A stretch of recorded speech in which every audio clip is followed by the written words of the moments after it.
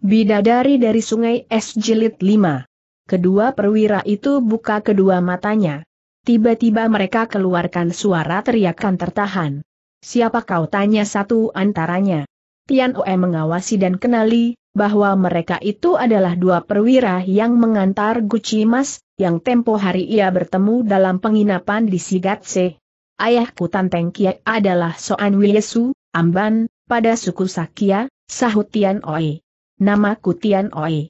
Kita sudah pernah bertemu di Sigatse, pada malam itu, ketika Xiao Cheng Hang turut bertempur, Tian Oi tidak munculkan muka, sehingga kedua perwira itu tidak menaruh curiga apa-apa. Sesudah Tian Oi perkenalkan dirinya, salah seorang lantas berkata, Oh, kalau begitu Tan Kong Chu ia lalu minta Tiam Xiao Jie berlalu dari kamar itu dan kemudian menanya pula, ada urusan apa Tan Heng datang ke sini selagi bicara, mereka diserang lagi dengan kedinginan, sehingga giginya pada bercakrukan. Tian Oe tidak tega dan segera berkata, penyakit begini Xiao Te mengerti juga sedikit.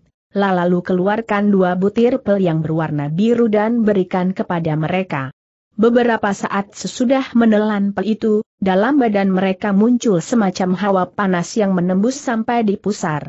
Kedua perwira itu mempunyai luakang yang cukup tinggi. Buru-buru mereka kerahkan pernapasannya buat bikin hawa panas itu mengalir terus sampai ke tangan dan kaki. Semakin lama mereka rasakan semakin segar. Besok, sesudah semua hawa dingin keluar, kesehatan Jiewie Taijin, kedua tuan pembesar, akan pulih kembali, kata Tian Oi. Kedua perwira itu, yang satu bernama Maoyan dan yang satunya lagi bernama Lumpo, adalah ahli silat di bawah perintahnya Jenderal Hokong An. Jika hari itu mereka waspada dan kerahkan tenaga dalamnya buat melindungi badannya, meskipun kena serangan pengpok sintan, mereka tidak akan menderita begitu hebat. Waktu itu, lantaran sedang gembira minum arak dan juga sebab tidak menduga wanita itu berkepandaian tinggi, mereka jadi tidak berjaga-jaga. Sesudah hawa dingin menyerang masuk ke dalam sumsum, barulah mereka kerahkan tenaganya buat melawan, tapi sudah kasep. Sekarang, begitu telan pelnya Tian Oe, mereka rasakan banyak ontengan dan mereka tentu saja jadi merasa sangat heran. Mereka lantas ingat, bahwa si orang tua yang turut bertempur di Segatse adalah kawannya Tian Oi. Tanpa merasa, mereka terkesiap dan salah seorang menanya lagi, sebenarnya kau siapa bukankah aku sudah beritahukan kata Tian Oi. Apa benar kau Tan Kong Chu Maoyan menegasi? Jika kalian tidak percaya, nanti setibanya di Lhasa kita boleh sama-sama pergi ke kantornya Hok Tai Sue buat cari ayahku, kata Tian Oi. Tapi care bagaimana kau bisa mempunyai Yowan, Pel, yang dapat punahkan ilmunya wanita siluman itu tanya Lumpo. Sebelumnya para dayang pengcoan Tian Lie keluar dari gua es, Tian Oe telah ketemukan banyak sekali Yowan dalam keraton es ia ambil seraup dan simpan dalam bungkusannya. Ia kenali, bahwa di antara Yowan itu terdapat yang Hoan, yaitu pel buat lawan hawa dingin pel itulah yang ia berikan kepada Maoyan dan Lumpo. Didedah secara begitu, Tian Oe gelagapan dan tidak tahu mesti menyahut bagaimana. Kedua perwira jadi semakin curiga dan Maoyan membentak, apa kau dikirim oleh wanita siluman itu baru saja Maoyan habis ucapkan perkataannya, di luar jendela mendadakan terdengar suara tertawanya seorang wanita yang lantas membentak, inilah yang dinamakan Seng Anjing Gigit Lutong Pin kau tidak mengenal kebaikannya orang. Aku kirim obat, kau berbalik mencaci aku. Apa kau mau sakit lagi beberapa hari kedua perwira itu yang badannya masih sangat lemas, jadi kaget sekali dan tidak berani buka suara lagi. Orang yang curi lentan, pelmustajab, lekas keluar ketemui aku, demikian terdengar lagi suaranya wanita itu, yang lagu suaranya mirip-mirip dengan suaranya pengcoan Tian Lie. Dengan hati berdebar-debar, Tian Oi loncat keluar kamar, tapi wanita itu sudah loncat naik ke atas genteng. Buru-buru ia balik ke kamarnya buat ambil buntalannya, dan sesudah lemparkan uang penginapan, ia lantas memburu.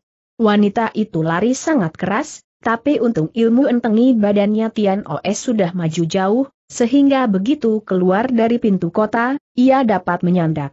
Wanita itu menengok dan berkata sembari tertawa, ilmu silatmu sudah banyak maju. Apa putri kami yang memberi pelajaran apa ia sudah balik ke keraton di bawahnya sinar rembulan, Tian Oe kenali bahwa wanita itu adalah Yeo Ai Peng, dayangnya pencoan Tian Lia yang sangat disayang. Sedari kecil ia ikuti majikannya dan di antara para dayang, ilmu surat dan ilmu silatnya terhitung salah seorang dari kelas satu. Pada harian gempa bumi, ia diperintah pengcoan Tian Lie buat menemani Chia Chin pergi petik daun obat. Tian Oe tentu saja merasa sangat girang dapat bertemu dengan ianya. Tapi mendengar pertanyaannya, ia jadi jengah dan berkata, aku curi belajar. Apakah kau mau jalankan perintah majikanmu buat menghukum aku Yeo Epeng tertawa-tawa dan menyahut, putri kami sebenarnya sangat sayang kau. Sebetul-betulnya, ia sudah perintah aku ajarkan kau beberapa macam ilmu silat, sebelumnya kau meninggalkan keraton. Cuma menyesal malam itu kau mencuri masuk ke dalam tempat pemujaan, sehingga Kongcu jadi gusar sekali. Menurut dugaanku, ia cuma mau gertak kau, dan sehabis mengadu pedang, rasanya ia akan segera lepaskan kau dari kurungan. Sesudah mengalami bencana alam yang hebat, tak dinyana kau dan aku masih bisa hidup terus. Cobalah tuturkan pengalaman dalam keraton selama tiga bulan yang lalu, Tian Oe segera tuturkan segala kejadian secara ringkas. Aku sudah duga semua saudara-saudara tidak akan sampai binasa, kata Yeo Epeng setelah dengar penuturan Tian Oe.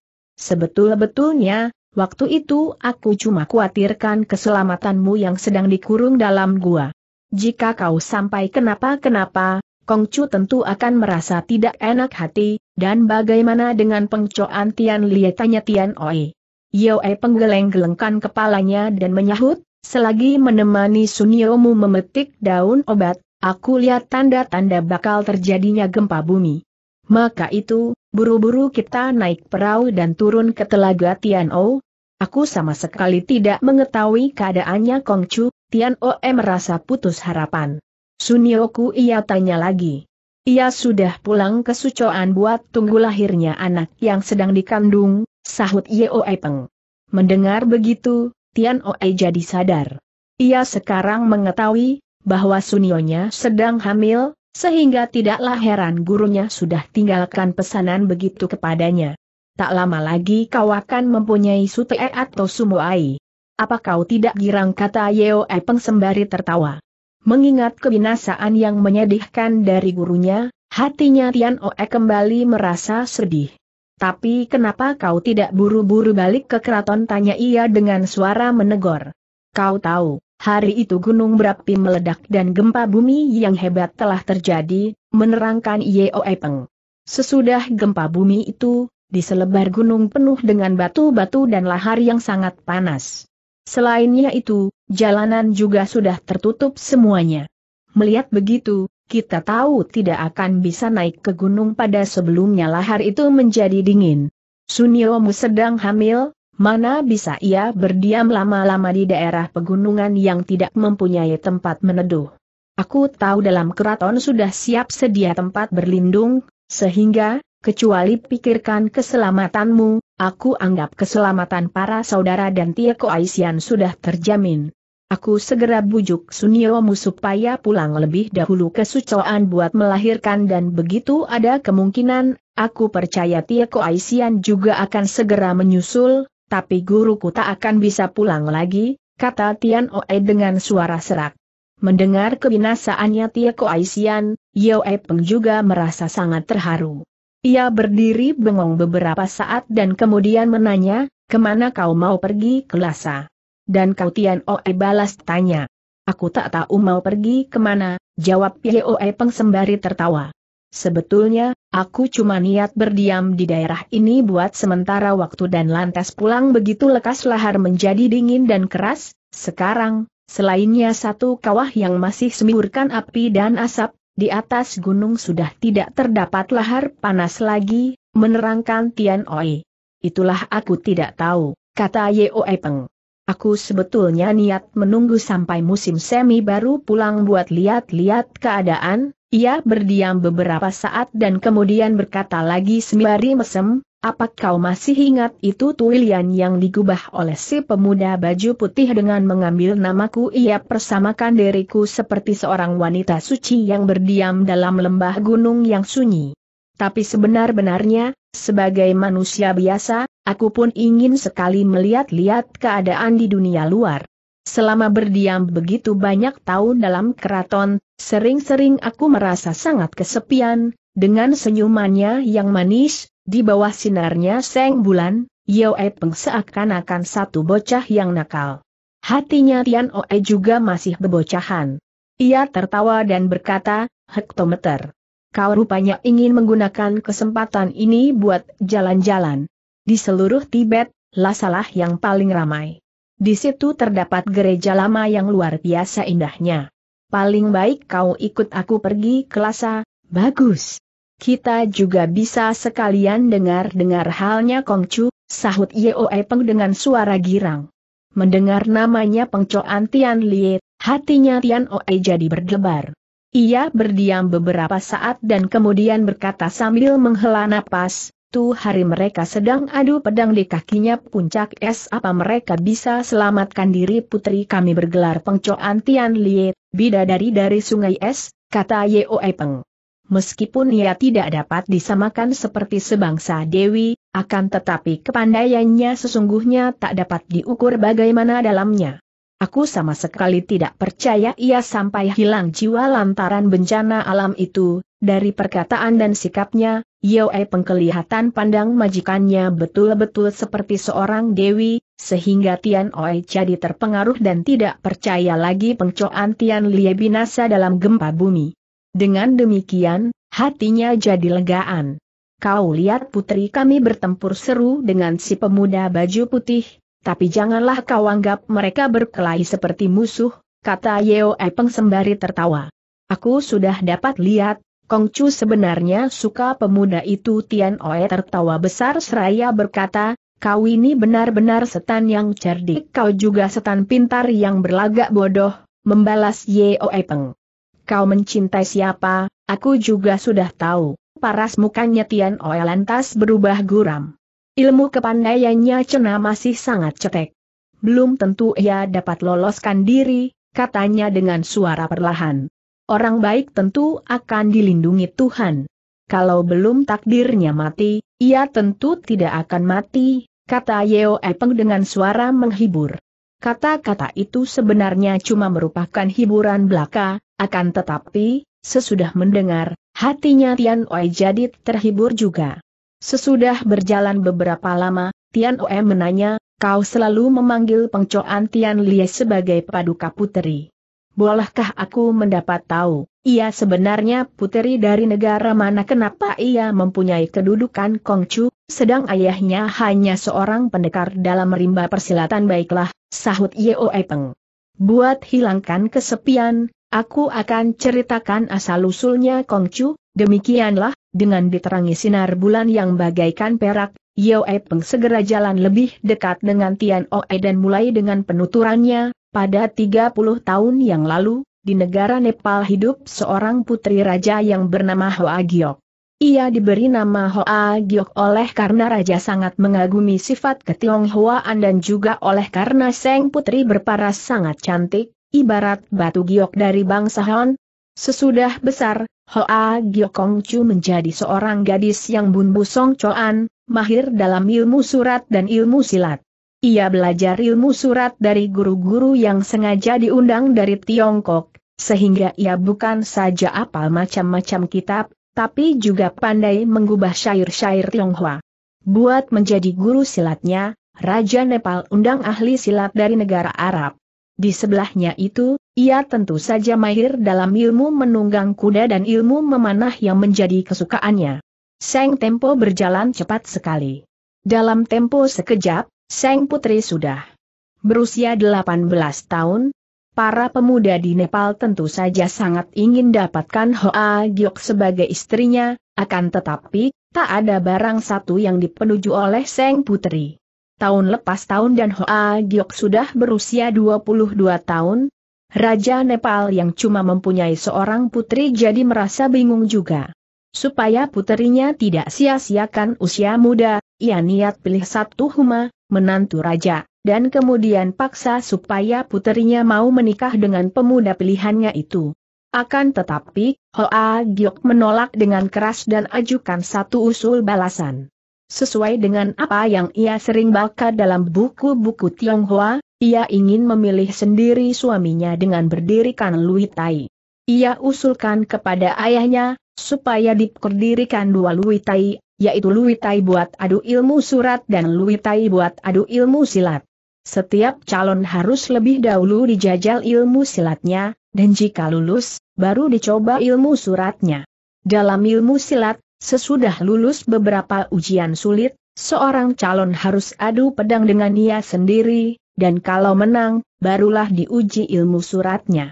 Dalam ilmu surat, satu calon bukan saja harus mahir dalam kesusastraan Nepal, tapi juga mesti mengenal kitab-kitab dan syair Tionghoa.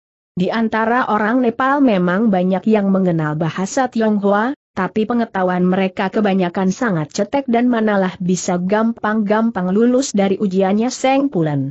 Selama dua tahun, jumlah pemuda yang majukan lamaran semuanya ada 124 orang, tapi yang berhak adu pedang dengan Seng Putri cuma ada tujuh orang, sedang yang bisa menangkan Hoa Giok cuma tiga orang saja. Akhirnya ketiga orang itu jatuh semuanya dalam ujian kesusastraan Tionghoa. Raja jadi bingung sekali dan belakangan malahan permisikan masuknya calon-calon bangsawan, tapi semua calon Tionghoa pun siang-siang sudah pada roboh dalam ujian ilmu silat. Tanpa merasa, usianya Kong Chu sudah menanjak jadi 24 tahun. Pada suatu hari, dengan suara sungguh-sungguh Raja Nepal berkata kepada putrinya, sekarang kau sudah gagal dalam usaha memilih Huma, maka sepantasnya kau serahkan urusan itu ke dalam tanganku. Aku tak dapat permisikan kau membuka luitai terus-menerus dalam tempo yang tidak terbatas, Hoa Giok lalu minta tempo seratus hari lagi, dan kalau sudah lewat seratus hari lagi ia belum juga berhasil, barulah ayah dan anak berunding lagi. Akan tetapi, Diam-diam Kong Chu yang berada tinggi dan agung itu sudah mengambil putusan pasti buat tidak menikah dengan lelaki sembarangan, dan jika sesudah seratus hari ia Beium juga berhasil, ia rela menjadi pendekta dan tidak menikah seumur hidupnya. Sesudah lewat 99 hari belum juga ada calon yang berhasil, sehingga Kong Chu sendiri juga merasa putus harapan. Pada hari yang ke-100 mendadak datang satu calon bangsa Han yang mukanya penuh debu dan mengatakan, bahwa ia baru saja tiba dari tempat jauh dan ingin ajukan diri sebagai seorang calon. Dalam ujian ilmu silat, pemuda itu ternyata pandai menunggang kuda dan memanah, sedang kedua tangannya sanggup angkat batu yang beratnya ribuan kati. Sesudah lulus berbagai ujian berat, ia akhirnya berhadapan dengan Putri Hoa Giok sendiri. Ia layani Seng Putri dari tengah hari sampai maghrib dan akhirnya secara indah sekali, ia sontek tutupan mukanya Putri dengan ujung pedangnya. Ketika dijajal ilmu suratnya, Putri Hoa Giok sendiri sampai merasa sangat kagum. Ia ternyata mengenal baik kesusastraan Nepal dan tentu saja sangat mahir dalam kesusastraan Tionghoa dan malahan banyak penjelasan-penjelasan yang belum dikenal oleh Seng Putri sendiri. Sekarang tinggal dua ujian terakhir buat coba kecepatan otakmu kata Putri Hoa Giok. Jika kau lulus, kau, Kongcu tidak dapat teruskan perkataannya dan mukanya jadi bersemu merah. Pemuda itu lantas saja minta ia keluarkan dua ujian terakhir itu, pemuda itu tentulah juga ayahnya pengcoan Tian Lie, Kui Hoa Seng Tai Hiap, Tian Oe potong penuturan orang. Kui Tai Hiap sedari kecil mendapat didikan langsung dari ibunya sendiri, maka tidaklah heran kalau ia mempunyai pengetahuan tinggi sekali dalam ilmu surat dan ilmu silat. Apakah adanya itu dua ujian terakhir ujian yang pertama ialah Kong Chur Ninta Kui Tai Hiap mengubah sepasang tuilian, Yeo Epeng lanjutkan penuturannya. Tuilian tersebut harus digubah dengan menggunakan namanya, yaitu Hoa Giok. Buat itu Kui Tai Hiap diberi tempo sepasangan hio, dan kalau sampai hio terbakar habis, Tuilian belum selesai, Kui Tai Hiap jatuh dari ujian itu. Sesudah mendengar penjelasan Kongcu, Kui Tai Hiap segera berkata, Tuilian itu sudah ada, cuma mungkin kata-katanya sedikit menyinggung, sehingga aku mohon Paduka Putri Sudi maafkan, sehabis berkata begitu, Kui Tai Hiap segera menulis tulisan yang bunyinya seperti berikut, Gunung Indah, pemandangan permai, siapakah yang mau diajak pesiar melihat pohon buhdi berkembang, Saka Ya bermesem simpul. Suling giok, batu kemala, suaranya merdu, mengundang tetamu turut bersukaria.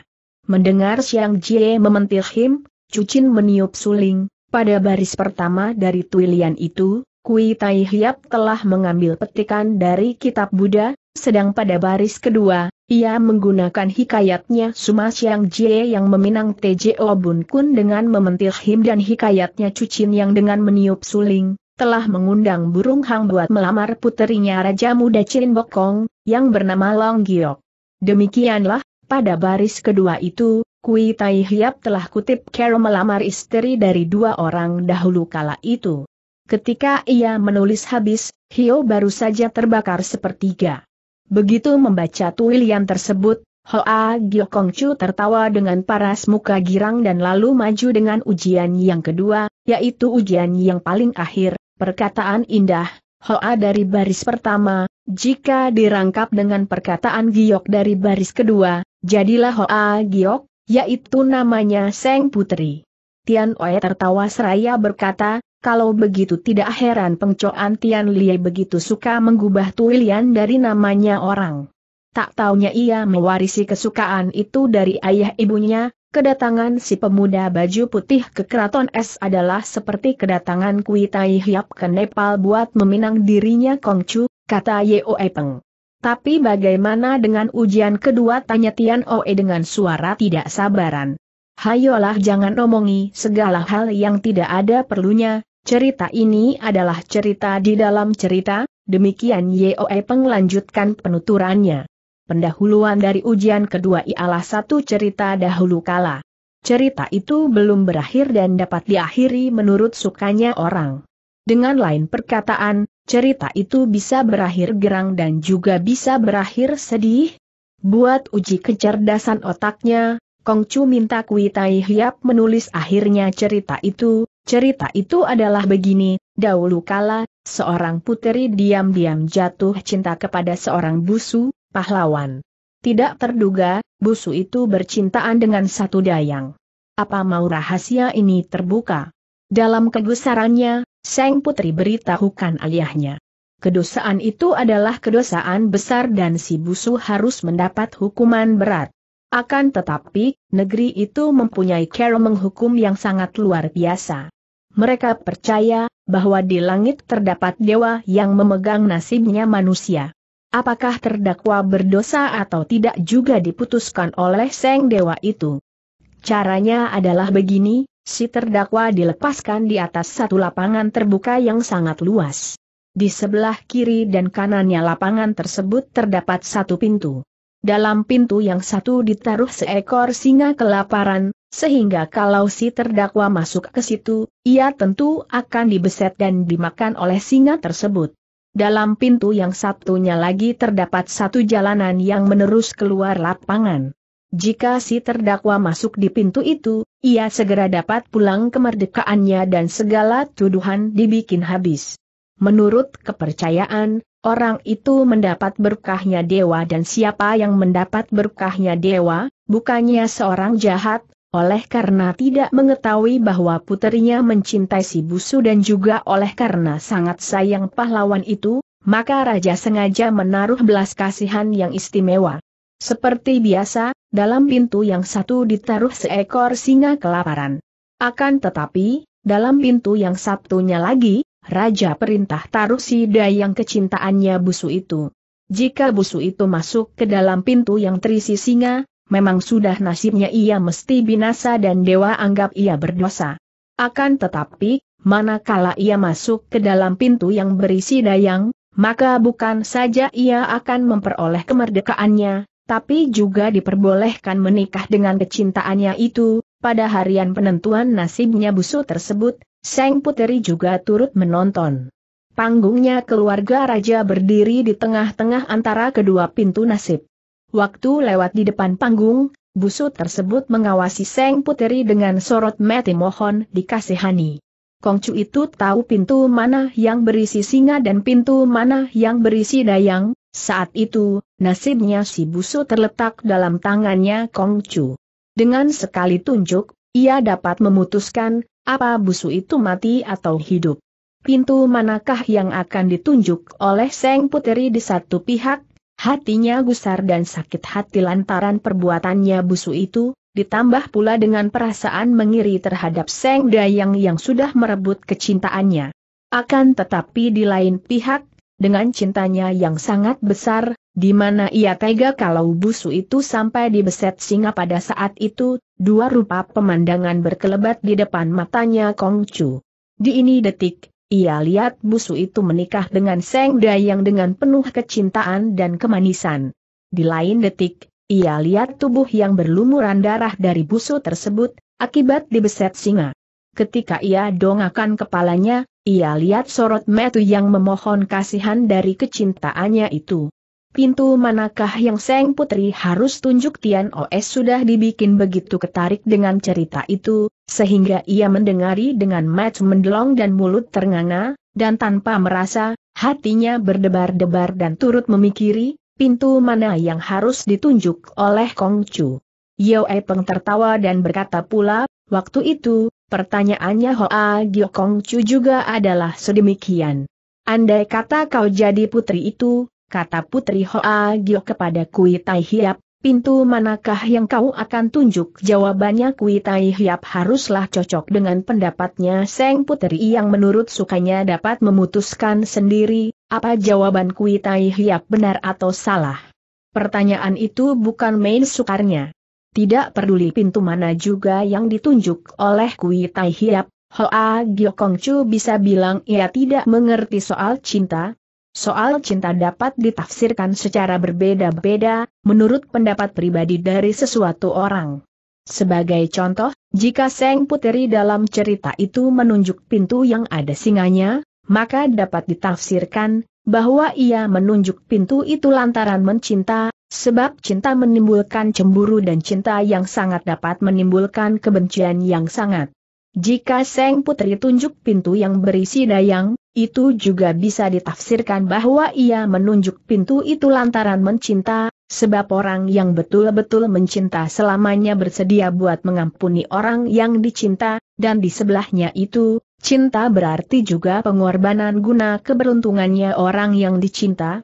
Tapi bagaimanakah pendapat Hoa Gio Kong Chu mengenai soal itu itulah ada soal sulit yang mesti ditebak dengan jitu oleh Kui Tai Hiap. Kui Tai Hiap memikir beberapa saat dan kemudian tanya Hoa Gio Kong Chu, puteri dalam cerita itu, apakah puteri dari negara timur atau puteri dari negara barat cerita itu sebenarnya adalah cerita dari Eropa yang belakangan masuk ke timur dan menjadi bahan dari berbagai penulis. Kui Tai Hiap mengetahui sumbernya cerita itu, akan tetapi ia sengaja menanya begitu, Hoa Gio Kong Chu yang tidak mengerti maksudnya segera balas menanya, kalau putri timur bagaimana kalau putri barat bagaimana Kui Tai Hiap tertawa dan menyahut, kalau Seng Putri adalah putri dari negara timur, ia tentu akan tunjuk pintu yang berisi dayang. Tapi jika ia adalah putri dari barat, ia tentu akan tunjuk pintu yang ada singanya. Orang timur biasanya lebih bersedia saling mengampuni, sedang kaum wanitanya kebanyakan berhati ulas asih, sehingga sepuluh sembilan ia tidak akan tega melihat kecintaannya dibeset singa. Di lain pihak, cintanya wanita negara barat bersifat monopoli, yaitu tidak sudi membagi kepada lain orang. Orang barat suka mengatakan bahwa cinta adalah seperti biji matu dan di situ tidak boleh menyelip barang sebutir pasir. Maka itulah, jika Seng Putri adalah putri negara barat, sepuluh sembilan ia akan tunjuk pintu yang berisi singa, sebab ia kebanyakan lebih suka kecintaannya binasa daripada direbut oleh lain perempuan. Akan tetapi, jika busu itu adalah seorang Tionghoa, Siang-siang ia tentu dapat mengetahui kecintaannya Seng Puteri, sehingga kejadian itu sebenarnya tidak usah terjadi bukan main licinnya jawaban itu. Tapi Kui Tai Hiap sebenarnya boleh tidak usah susah-susah. Kita bisa duga, tak peduli Kui Tai Hiap menjawab bagaimana juga, Hoa Giokong Chu tentu akan merasa puas, begitulah Hoa Giokong Chu segera menetapkan Kui Tai Hiap sebagai Huma bukan main girangnya raja. Waktu dilangsungkan pesta pernikahan, tiga hari libur diberikan di seluruh negeri dan semua orang pada bersukaria. Pada lain tahunnya, Hoa Giokong Chu melahirkan seorang puteri yang diberi nama Penggau oleh Kui Tai Hiap. Ia itulah yang belakangan dikenal sebagai Pengcoan Tian Lie. Raja tidak mempunyai anak lelaki. Hoa Giokong Chu adalah anaknya yang tunggal. Dari sebab begitu, Seng cucu Penggau juga diberi gelaran Kongcu, kedua mempelai hidup beruntung sekali dan tidak terasa lima tahun sudah lewat.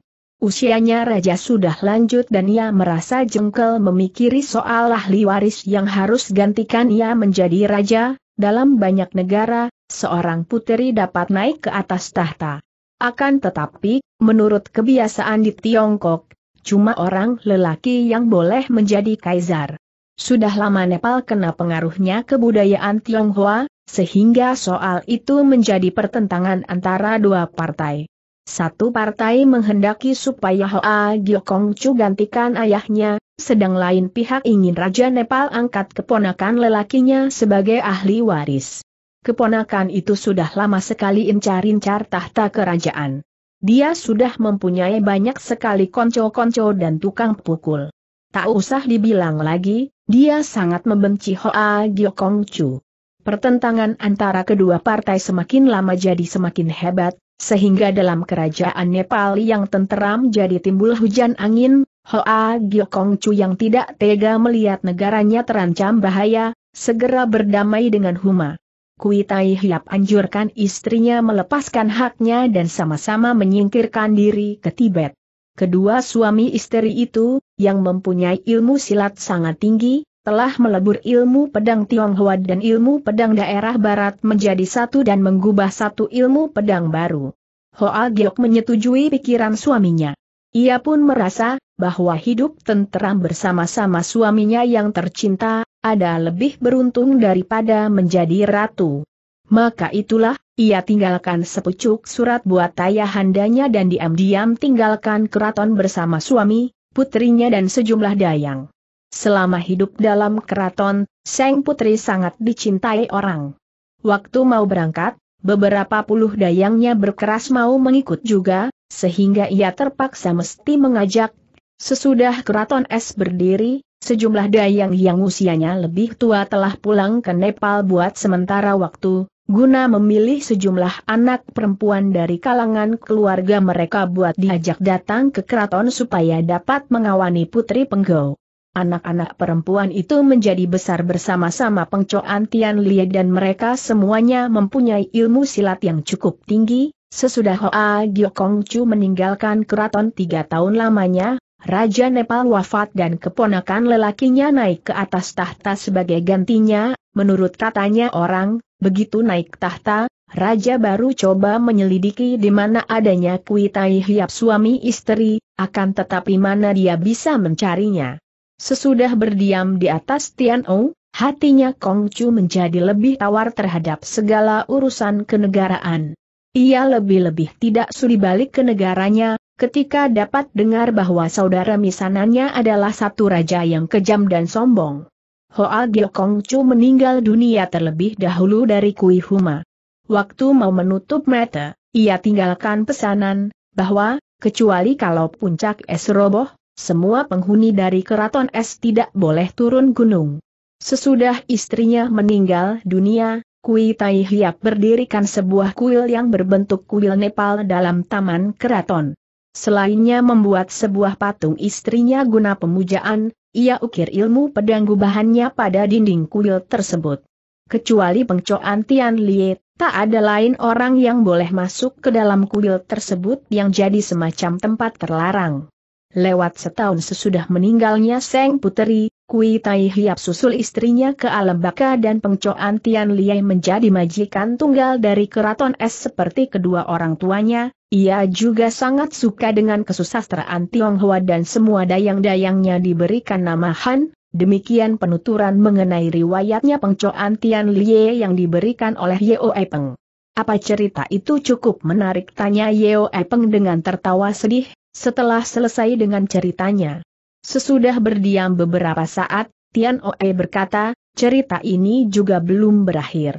Seperti juga cerita si Busu, cerita pengcoan Tian Lie juga bisa berakhir sedih atau berakhir girang, bagaimana tanya Yeo Peng. Perangkapan jodoh antara dua orang yang berlainan bangsa dan kemudian hidup seperti di dalam surga, ceritamu luar biasa indahnya, menerangkan Tian Oe.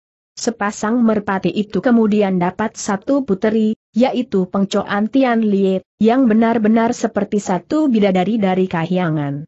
Jika Pengcoan Tian Liet dan si pemuda baju putih bisa terangkap jodoh dan dapat hidup seperti Kui Tai Hiap dan Hoa Giokong Chu, maka cerita ini berakhir girang.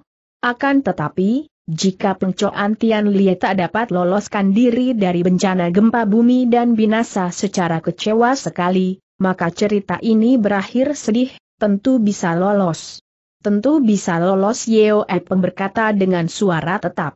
Harap saja begitu, berkata Tian Os sembari dongakan kepalanya.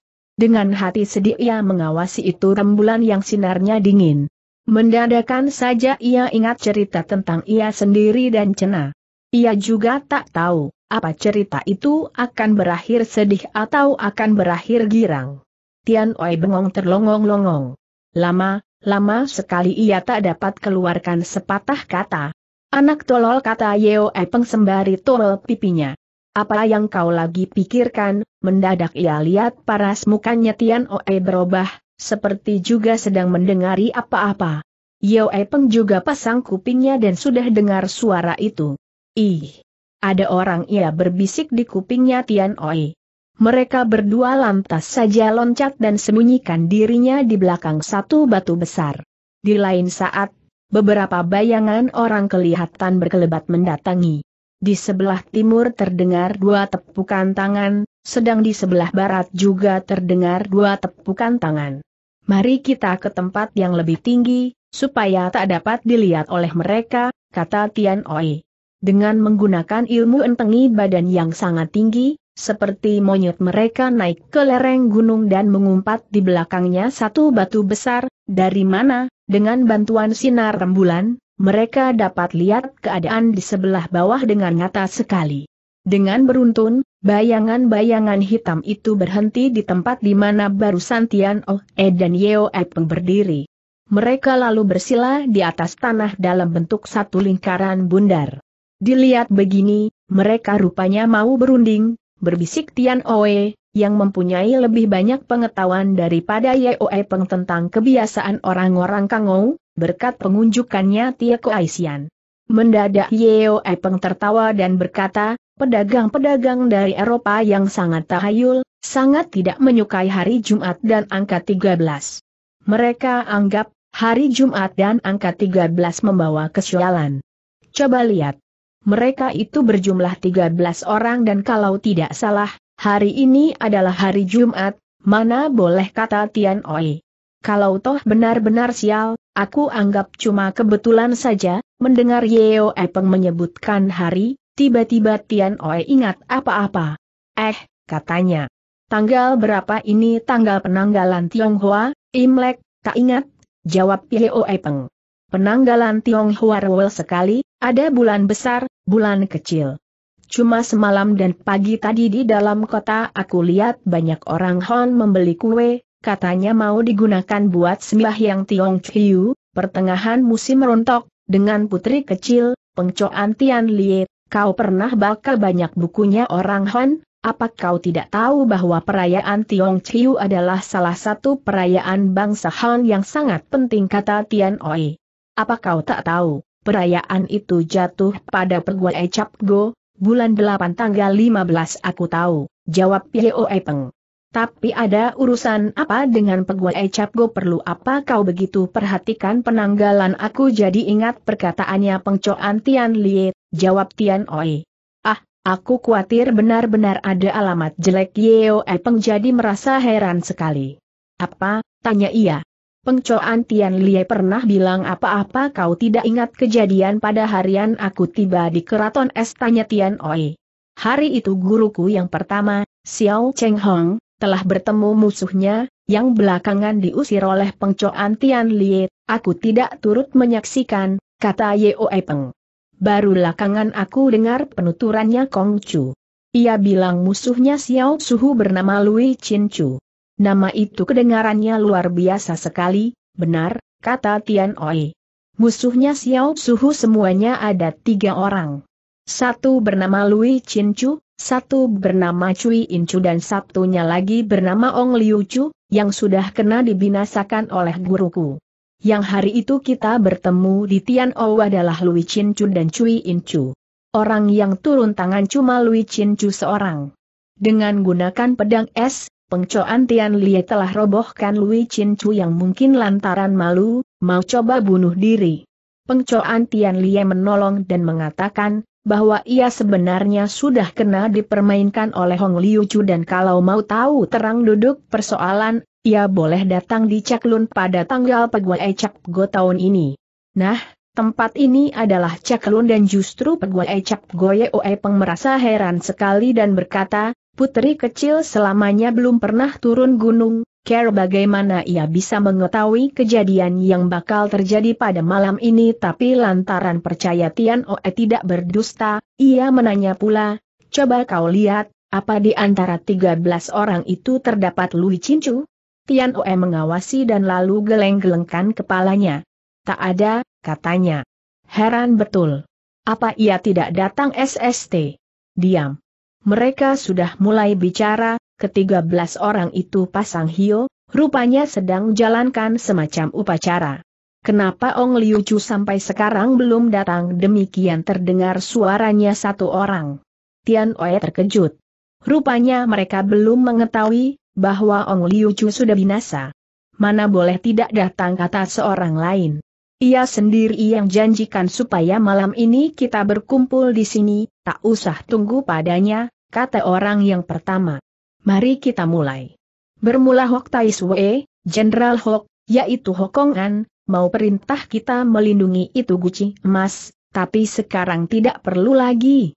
Ia perintah kita memberitahukan kawan-kawan, supaya pada sebelum buntut tahun, semua kawan pada pergi ke Singkiang, kenapa tenaga kita tidak dipakai lagi tanya seorang. Aku dengar suku Hapsat Kek di Singkiang memberontak, jawab orang yang pertama. Dalam pemberontakan itu ada turut sejumlah murid-murid Butong Pei. Buat menghadapi mereka itu, Hok Tai Sue memerlukan sekali tenaga kita. Maka itu, Hok Tai Sue bukannya pandang kita rendah. Saudara tak usah banyak pikiran, mendengar perkataan itu, hatinya Tian Oe jadi berdebar. Ia ingat penuturannya Xiao Cheng Hang dan Tia Koaisian tentang riwayatnya berbagai partai rimba persilatan. Partai Butong dahulu sebenarnya mempunyai peraturan keras yang melarang murid-muridnya mencampuri urusan negara dan politik. Belakangan, pada buntutnya Ah Halabeng dan permulaan dinasti Cheng, muncul seorang pendekar Butong yang bernama Tohet Hang. Oleh karena mencintai Lie Hiap Giok Et, yang belakangan dikenal sebagai Pengkoat Molie, siluman perempuan rambut putih, ia tinggalkan Butong San dan pergi ke Singkiang, di mana ia berdirikan satu partai baru yang membantu Yo In Chong, muridnya Hui Beng Su, melawan tentara Bo Cheng. Demikianlah peraturan Butong Pei yang lama telah jadi berubah. Hal itu terjadi pada kira-kira 100 tahun berselang. Belakangan Kui Tiong Beng menjadi Chiang Bun, pemimpin Butong Pei dan mempunyai banyak sekali murid di wilayah Xinjiang. Sebagian besar murid-murid itu adalah pencinta-pencinta negeri yang tentangkan pemerintahan Bo Cheng. Itulah sebabnya kenapa cabang Butong di Sinki yang lebih dihargai rakyat daripada partai Butong di Tionggoan, wilayah Tiongkok asli. Kalau begitu orang-orang itu maui tentang murid-murid Butong, kata Tian Oe dalam hatinya. Tapi ada hubungan apa sama Ong Liu Chu? Ong Liu Chu adalah saudara angkatnya Lui Chin Chu dari Butong Pei, sehingga sebenar-benarnya ia pun ada musuhnya orang-orang yang sedang berunding itu, selagi hatinya bimbang, kupingnya sudah dengar lagi perkataannya satu orang, kita tak dapat menghadapi Butong Pei, tanpa Ong Liu Chu.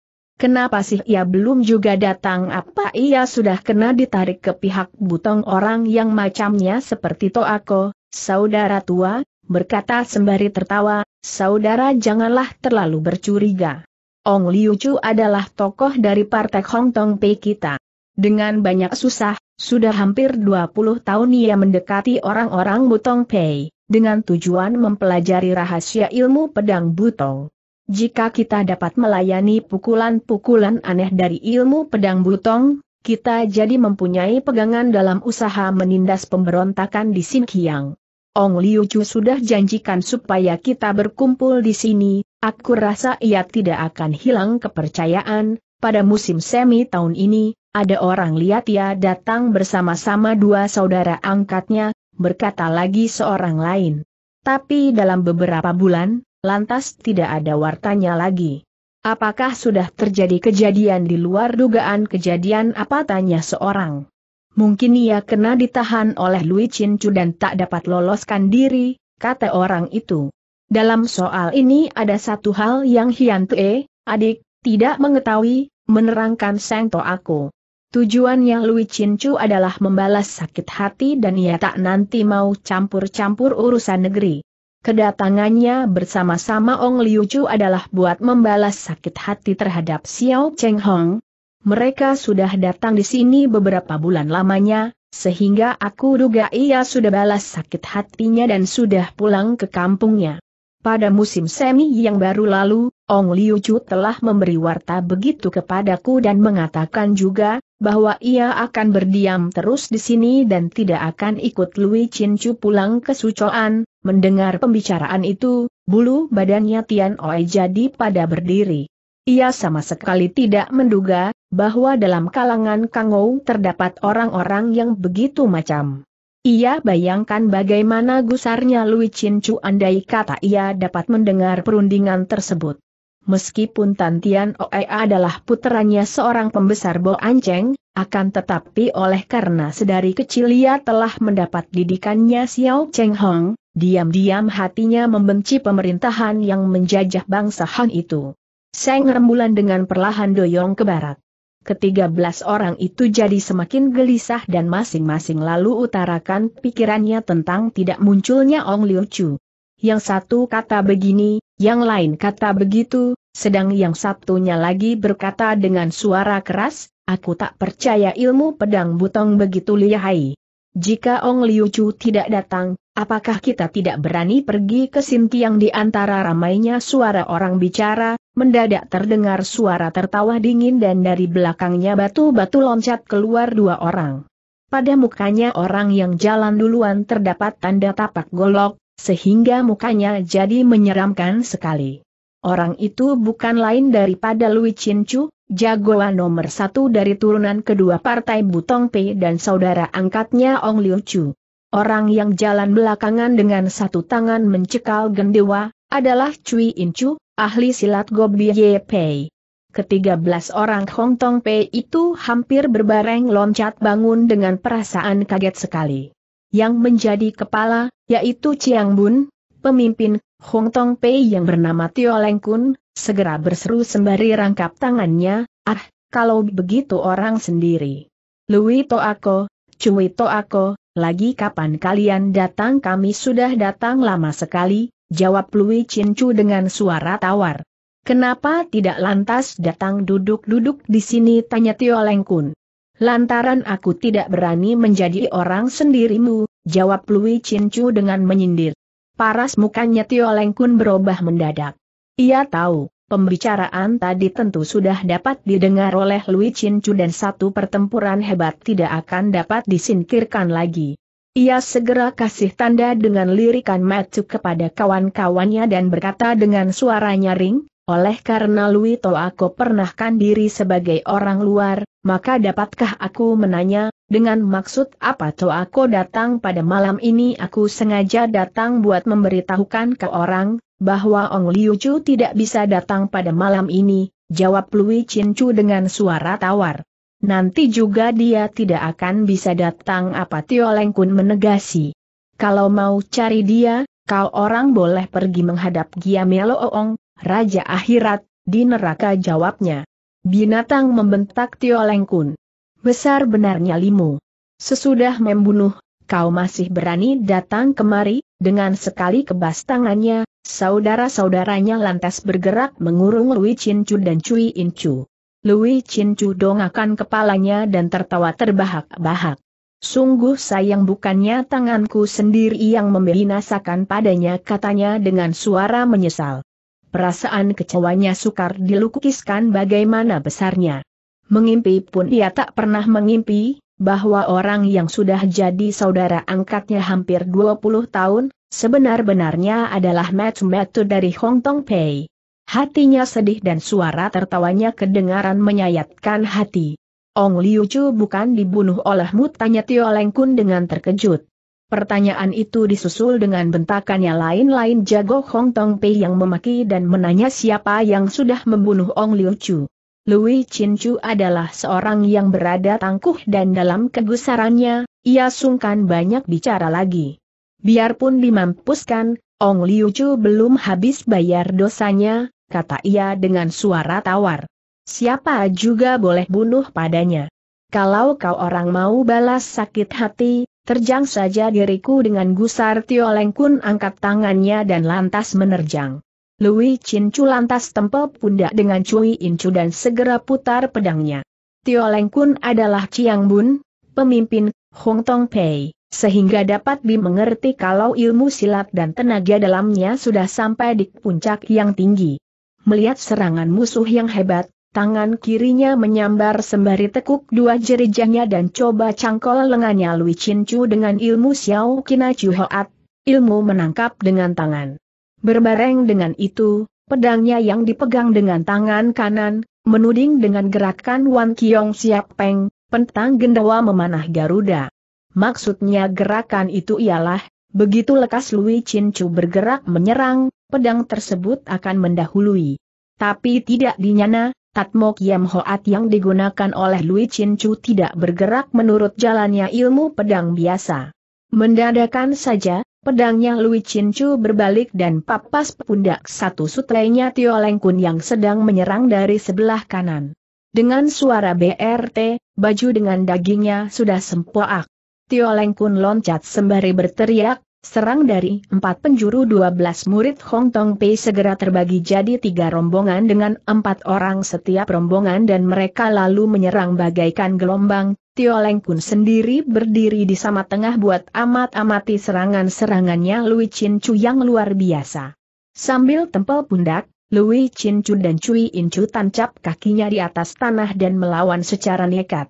Sesudah menonton beberapa lama Yeo Epeng berbisik di kupingnya Tian Oe, Walaupun Kiam Hoatnya Lui Chin Chu cukup mahir, ia kelihatannya belum mendapat sumsumnya Tatmo Kiam Hoat yang tulen, Tian Oe manggut-manggutkan kepalanya dan berkata, aku rasa Lui Chin Chu masih bisa bertahan setengah jam lagi, tapi Cui In Chu sudah sangat kepayahan, tali gendawanya Cui In Chu terbuat dari urat binatang kau dan benang emas hitam, sehingga sebenarnya adalah semacam senjata mustika yang dapat membetot serta memutuskan senjata musuh. Dalam pertempuran di Sakya, tali gendawa itu telah diputuskan dengan hut timnya Xiao Cheng Hong. Belakangan dia perbaiki dan sambung tali itu, akan tetapi, kekuatannya sudah banyak berkurang. Kalau bertemu sama lawanan setanding, dengan menggunakan gendawa tersebut, Memang Cui Incu bisa menang seurat akan tetapi, dengan dikerubuti begitu banyak orang, gendewa tersebut tentu saja tidak dapat menolong banyak dan semakin lama ia jadi semakin kepayahan. Keadaannya Lui Chin Cu cuma mendingan sedikit. 13 orang itu semuanya adalah jago-jago dari Hong Tong Pei. Kalau satu lawan satu, memang mereka semua bukannya tandingan Lui Chin Chu. Akan tetapi, dengan mengerubuti dan menyerang saling ganti seperti gelombang, mereka segera berada di atas angin. Selagi pertempuran berlangsung sedang serunya, badannya Tio Leng Kun mendadak terbang ke atas dan selagi tubuhnya melayang ke bawah, pedangnya menyambar ke arah tengah-tengah antara Lui Chin Chu dan Cui In Chu, dengan pukulan Hun Kang Toan Liu, memendung sungai memutuskan aliran. Lui Chin Chu dan Cui In Chu yang repot melayani serangan bergelombang, tidak keburu menangkis lagi dan terpaksa masing-masing mengegos ke depan buat singkirkan sambaran pedang. Dengan demikian, mereka jadi terpisah satu sama lainnya. Hampir berbareng, kedua belas musuhnya meluruk, sehingga mereka tidak dapat tempel pundak kembali. Tio Leng Kun tertawa terbahak-bahak sembari pimpin kawan-kawannya mengepung secara rapat sekali dengan andalkan pukulan-pukulan aneh dari Tatmo Kiam Hoat, buat sementara Lui Chin Chu masih dapat pertahankan diri. Tapi keadaannya Cui LN Chu tidak sedemikian, lah kelihatannya sudah kewalahan dan tali gendawanya tak hentinya berbunyi ting-tang, ting-teng, beberapa saat kemudian, dengan satu teriakan kesakitan, pundak kirinya kena dipapas pedang, sedang gendawanya pecah tersabet golok. Cui Lo Ojie membentak Tio Leng Kun. Kau bukannya penjahat utama. Lepaskan genderwamu. Aku akan ampuni jiwamu kau mau aku menakluk terhadap kawanan tikus jawabnya sembari tertawa getir. Hektometer. Cui Incu boleh mati, tapi tak sudi dihinakan oleh manusia sebangsa kau bagus. Itulah baru saudaraku berseru Lui Chin Chu sembari menerjang secara nekat buat menggabungkan dirinya sama saudaranya itu. Akan tetapi, ia tidak berhasil lantaran sudah keburu dicegat oleh Tio Leng Kun. Terhadap Lui Chin Chu dan Cui In Chu, Tian Oe tidak mempunyai rasa simpati. Akan tetapi, sesudah menyaksikan pertempuran tersebut, ia kagumkan juga keangkuhannya kedua orang itu, yang ternyata masih mempunyai tulang punggung. Lewat lagi beberapa saat, keadaan kedua orang itu, lebih-lebih Cui In Chu, jadi semakin berbahaya. Suara tali gendawanya Cui Incu sudah kedengaran dengkek dan sumbang. Orang itu bisa hilang jiwa sembarang waktu, kata Yeo Peng. Eh, kau tak mau membantu apa Tian Oe menegasi. Asalnya ilmu pedang pengcoan Tian Lie adalah dari Butong, kata Yeo Peng. Kau sudah belajarkan ilmu pedang tersebut, sehingga sama Lui Chin Chu kau masih terhitung saudara seperguruan, baik kita menyerbu bersama-sama kata Tian Oai yang lantas munculkan dirinya di atas batu. Lui Chin Chu ia berseru. Jangan takut. Aku menolong orang-orang Hong Tong Pei. Lui Chin Chu dan Cui In Chu terkejut semuanya. Mereka dongak dan lihat sepasang orang muda, satu lelaki dan satu perempuan, sedang berlari-lari ke arah mereka. Di bawahnya sinar bulan, muka mereka dapat dilihat nyata sekali. Hatinya Lui Chin Chu tergetar. Aku kira siapa, tak taunya murid Xiao Cheng Hong, kata ia dalam hatinya. Harus diketahui, bahwa Lui Chin Chu adalah seorang beradab tinggi yang anggap ilmu silatnya sudah sempurna sekali.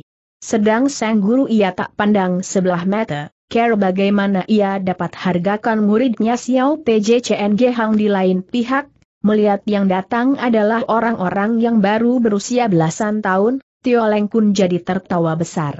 Apa kamu tahu berapa tingginya langit dan berapa tebalnya bumi katanya sembari tertawa bergelak-gelak. Bau susumu belum hilang, sudah berani datang ke sini buat cari mampus Tan Kong Chu. Lekas menyingkir Lui Chin Chu juga berseru. Tolong beritahukan gurumu, aku sudah tidak membenci ia lantaran kau sudah tidak membenci suhu, maka aku mau menolong, Jawab Tian Oe yang bagaikan kilat sudah menikam Tio Leng Kun dengan pedangnya. Sembari kebas tangannya, Tio Leng Kun menyampok dengan pedangnya buat bikin terpental senjatanya Tian Oe. Tapi siapa nyana gerakan pedangnya Tian Oe malahan lebih aneh daripada pedangnya Lui Chin Chu. Tiba-tiba saja, ujung pedangnya tukar haluan dan sambar dadanya Tio Leng Kun, yang jadi terbang semangatnya sebab sama sekali tak menduga bakal diserang secara begitu. Sebagai orang yang berpengalaman dan tinggi ilmunya, dalam bahaya ia tak jadi gugup. Dengan gerakan tiapan kio, jembatan papan besi, badannya melenggak ke belakang sampai hampir nempel ke tanah.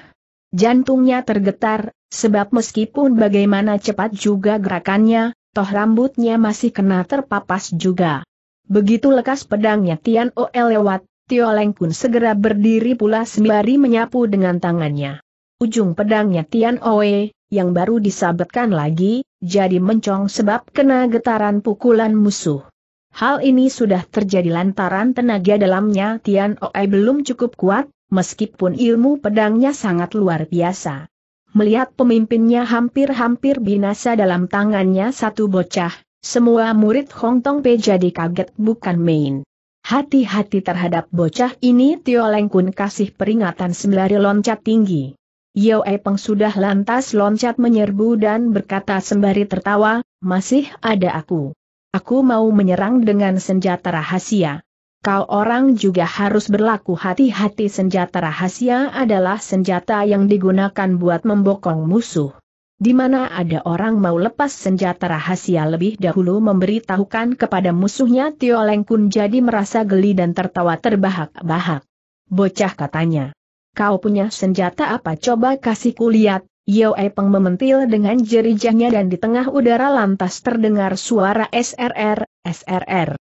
Menduga serangan jarum, Tio Leng Kun putar pedangnya buat melindungi badan. Dengan suara peletak, senjata rahasia itu yang berbentuk bundar seperti mutiara, hancur kena terpukul pedang.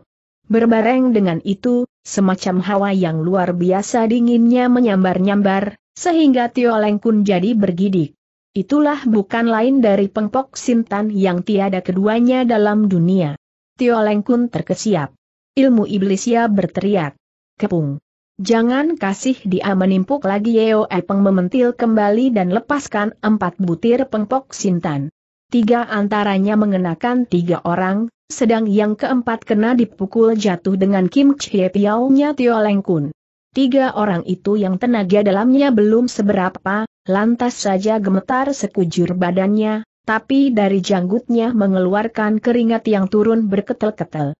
Kalau setiap orang aku persen dua peluru, mereka tak akan dapat tahan lagi, katanya Yeo Epeng dalam hatinya. Cuma sayang, persediaanku tak mencukupi, pengpok sintan dibuat dari rohnya es yang diambil oleh pengcoan Tian Lie dalam gua es yang dalamnya ribuan tombak. Di seluruh dunia, bahan tersebut cuma bisa didapatkan di daerah Nyencin Dangla. Dalam sakunya, Yeo Epeng cuma membawa belasan peluru. Berbeda dengan senjata rahasia lainnya yang bisa diambil pulang, begitu dilepaskan pengpok sintan lantas meledak dan musnah. Sekali lepas berarti hilangnya satu peluru. Maka itu, mau tidak mau Yeoe Peng harus sirit, dan selagi ia bersangsi, gelombang musuh yang kedua sudah meluruk dan kepung padanya. Sembari membentak, Yeoe Peng cabut pengpok Han Kong Kiam yang lantas saja mengeluarkan sinar gemerlapan yang sangat dingin, sehingga empat musuhnya kembali bergidik. Pedang tersebut dibuat dari OEN Giok, batu kemalau hangat, yaitu keluaran istimewa dari puncak es sesudah direndam di dalam hancoan, umbul dingin, dan diolah tiga tahun lamanya, barulah pembuatannya selesai. Dari sebab begitu, Pengpok Han Kong Kiam mengeluarkan semacam hawa dingin, yang, meskipun tidak sehebat Pengpok Sintan, dapat mencelakakan orang-orang yang tenaga dalamnya belum kuat betul. Ketiga belas jago Hong Tong Pei rata-rata sudah mempunyai luakang yang kuat, sehingga, biarpun merasa sangat tidak enak diserang sinar dan hawa dingin, mereka masih dapat mempertahankan diri. Di bawah pimpinan Tio Leng Kun, mereka dipecah jadi empat rombongan dan kepung empat musuhnya itu. Tian Oe dan Yeo EPCNG segera keluarkan Tok Bun Kiam Hoat, Ilmu pedang tunggal, dari pengcoan Tian Lie dengan pukulan-pukulannya yang aneh-aneh. Sesudah bertempur kurang lebih 50 jurus, murid-murid Hong Tong Pei masih belum dapat mengetahui, ilmu pedang apa adanya itu. Tio Leng pun sendiri juga merasa bingung. Ilmu siluman. Ilmu siluman ia berkata sembari geleng-gelengkan kepala. Ilmu siluman apa membentak Yeo Epeng sembari mementil lagi dengan dua jerijinya. Dua butir pengpok sintan menyambar. Buru-buru lengkun lepaskan dua Kim Chie Piao. Sebutir peluru kena terpukul jatuh, tapi sebutir lagi keburu meledak sendiri dan mengenakan tepat mukanya Tio Lengkun. Seperti kena arus listrik, hawa dingin yang sangat hebat masuk ke dalam dua biji matanya, dan ia lantas tak dapat membuka matanya lagi. Saat itu, dengan gerakan penghokiatang, sungai es membeku, Yeo E pengputar pedangnya dan menyerang dari tiga jurusan, yaitu dari atas, tengah dan bawah. Pukulan ini adalah salah satu pukulan paling luar biasa dari ilmu pedangnya Pengcoan Tian Lie. Diserang dari tiga jurusan hampir berbareng, pihak musuh jadi kabur penglihatannya, dan dalam usaha sambutannya, ia bisa membuat kesalahan yang dapat mencelakakan dirinya sendiri. Yeo E pengkeluarkan pukulan itu dengan maksud buat lebih dahulu merobohkan Tio Leng Kun, yang jadi pemimpin dari ketiga belas musuh itu. Akan tetapi, tidak dinyana, baru saja pedangnya bergerak, badannya Tio Leng Kun berkelebat dan tangannya sudah menyambar dari sebelah kanan. Tian Oi coba menolong, tapi sudah tidak keburu. Dengan suara plak, pundaknya Yeo Epeng kena terpukul, sehingga terhuyung dan pengpok Han Kong Kiam hampir-hampir jatuh dari tangannya. Kelihayannya pukulan penghokiatang ialah dapat membuat kabur penglihatan musuh. Dalam serangan itu, Yeo Epeng tidak ingat, bahwa lantaran kedua matanya musuh tertutup rapat akibat serangan pengpok Sintan, Tio Leng Kun jadi tidak kena dibikin bingung.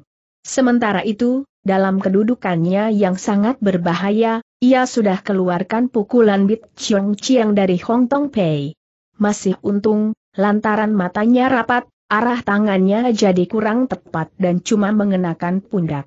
Kalau lebih ke bawah beberapa dim saja, tangannya bisa menghantam dada dan Yeo Epeng bisa dapat luka berat. Sesudah berhasil, Leng Kun loncat mundur beberapa tindak dan kucek-kucek matanya yang penglihatannya jadi samar-samar dan seperti juga melihat tua putih, lah kaget berbareng gusar dan membentak dengan suara keras, perempuan kejam. Kalau tak korek biji matamu, aku tak puaslah segera teriaki kawan-kawannya buat kepung Yeo Epeng secara lebih keras, sedang ia sendiri, dengan andalkan ilmu membedakan datangnya senjata dengan mendengari sambaran angin, sudah turut menerjang. Walaupun Yeo Peng merupakan salah satu dayang terkemuka dalam keraton es, akan tetapi ilmu silatnya masih kacek jauh jika dibandingkan dengan musuh-musuhnya. Maka itu, begitu dikepung sungguh-sungguh, ia lantas berada di bawah angin. Buat sementara waktu, ia masih bisa pertahankan diri dengan andalkan kegesitannya, akan tetapi, ia sudah tidak mempunyai tempo buat menimpuk lagi dengan pengpok Sintan. Tian Oe terkejut dan menyerang dengan mati-matian dengan gunakan segala rupa pukulannya cengcoan Tian Lie yang luar biasa. Di antara dayang-dayang, meskipun mendapat didikan langsung dari pengcoan Tian Lie, akan tetapi tidak ada barang seorang yang belajarkan seluruh Tok Bun Kiam Hoat. Di lain pihak, Tian Oe mencuri belajar dari gambar-gambar di dinding gedung terlarang. Maka itu dibandingkan dengan para dayang, ia dapat lebih banyak sumsumnya ilmu pedang tersebut. Dalam terjangannya yang mati-matian, ia sudah berhasil membuka satu jalanan dan dapat mempersatukan dirinya sama Yeo Epeng. Oleh karena mesti meladeni Tian O E dan Yeo Epeng yang mengamuk seperti kerbau edan, barisannya Hong Tong Pe jadi kalut, sehingga Lui Chin Chu dan Cui In Chu juga dapat menerjang keluar dan gabungkan diri sama Tian Oh E dan Yeo E Peng. Dengan demikian, keempat orang itu menjadi dua pasangan, yang, dengan saling tempel pundak, melawan serangan-serangannya ketiga belas jago Hong Tong Pei. Lui Chin Chu sama sekali tidak pernah mengimpi, bahwa dalam tempo beberapa bulan saja, ilmu silatnya Tian OS sudah maju begitu jauh dan kelihatannya sudah berada di sebelah atasan gurunya sendiri. Semangatnya jadi terbangun dan ia dapat menyerang dan membela diri secara rapi. Cui Incu pun dapat pulang ketenangannya dan tali gendawanya kembali bersuara nyaring. Dengan perlahan sinar bulan condong ke sebelah barat dan mereka sudah bertempur lebih dari satu jam. Perlahan tapi tentu, keadaan di gelanggang kembali berubah. Sesudah berkelahi begitu lama, Lui Chin Chu dan Cui In Chu jadi lelah. Oleh karena tenaga dalamnya belum begitu kuat, Tian Oh E dan Yeo E Peng juga sekarang cuma dapat membela diri. Tio Leng Kun dan kawan-kawannya jadi girang dan mereka menyerang semakin hebat. Perempuan siluman. Sekarang baru kau tahu kelihayan kami. Lekas keluarkan obat pemunah berseru Tio Leng Kun. Dengan andalkan iwa ekangnya yang sangat tinggi, buat sementara ia masih dapat menahan hawa dinginnya pengpok Sintan. Tapi belakangan, ia rasakan kedua biji matanya seperti juga ditusuk-tusuk jarum sehingga ia khawatir menjadi buta, jika terlambat pengobatannya. Maka itu, ia mendesak hebat dan mau paksa Yeo Epeng keluarkan obatnya. Yeo Epeng ambil sikap acuh tak acuh. Obat apa tanya ia sembari tertawa. Kau tak mau keluarkan kata Tio Lengkun. Kalau kau tidak keluarkan, biarpun buta, Aku masih dapat membunuh Hengka sembari tekap matanya dengan tangan kiri, pedangnya kembali menyerang hebat dengan pukulan-pukulan yang membinasakan. Ketika itu, matanya sudah jadi bengkak seperti buah hengtoh dan hatinya takut bukan main. Yeo Peng benar nakal. Dalam keadaan yang berbahaya, ia masih bisa tertawa. Ha! Tadi aku sudah suruh kau hati-hati katanya. Kau sendiri yang tak hati-hati, sekarang berbalik salahkan orang sembari tempel pundak dengan Tian Oe, ia kembali singkirkan beberapa serangan. Hai, aku dengar lelaki Han lebih suka keluarkan darah daripada keluarkan air mata. Tapi kau lebih suka menangis. Apa tak malu Oe Peng mengejek pula. Tio Leng Kun jadi seperti orang kalap. Bersama empat saudaranya, ia menyerang seperti macan edan, sehingga Tian Oh E dan Yeo E Peng jadi benar-benar kedesak. Aku lihat kau, benar-benar kasihan. Biarlah aku berikan obat pemunah kata Yeo E Peng. Mari Lengkun membentak. Galak benar, kau kata Yeo E Peng. Kalau kau minta baik-baik, mungkin aku mau juga kasihkan, yah, hayo kasihkan kata Tio Lengkun dengan suara lebih lunak. Mana bisa begitu gampang kata Yeo Epeng sembari nyengir. Kau lebih dahulu harus minta maaf pada Luya dan bersumpah tak akan pergi ke Sinki yang buat satrukan orang-orang butong. Kau pun harus minta maaf kepada kami. Sesudah itu, barulah aku mau kasihkan obatku, Tio Leng pun sangat bersangsi. Ia tak tahu mesti ambil jalanan yang mana. Ia paksakan membuka kedua matanya dan samar-samar lihat cara bersilatnya Lui Chin Chu sudah menjadi kalut. Lebih dahulu mampuskan siluman perempuan ini mendadak ia berseru sesudah mengambil putusan. Saudara Tio, Oye dan Yo, kau bertiga pergi layani itu dua manusia. Cukup kalau kau bikin mereka tak bisa membantu kedua bocah ini sehabis memerintah begitu, di bawah pimpinannya sendiri, Sepuluh jagoan Hong Tong Pei segera meluruk mengepung Tian Oh E dan Yeo E Peng. Maksudnya Tio Leng Kun adalah coba membinasakan Yeo E Peng selekas mungkin supaya bisa ambil obat pemunah dari badannya. Akan tetapi, ilmu silatnya Pengcoan Tian Liada sangat luar biasa dan tak gampang-gampang dapat dipecahkan dalam tempo yang pendek. Tio Leng Kun jadi bingung sekali dan dengan sepenuh tenaga, ia cecar kedua orang muda itu dengan pukulan-pukulan yang paling hebat. Belasan jurus kembali lewat. Tian Oe dan Yeo E Peng sengal-sengal dan mereka tahu, tak akan dapat pertahankan diri lebih lama lagi. Di lain pihak, kedua biji matanya Tio Leng Kun juga dirasakan semakin sakit, sehingga kedua belah pihak jadi sama-sama bingungnya.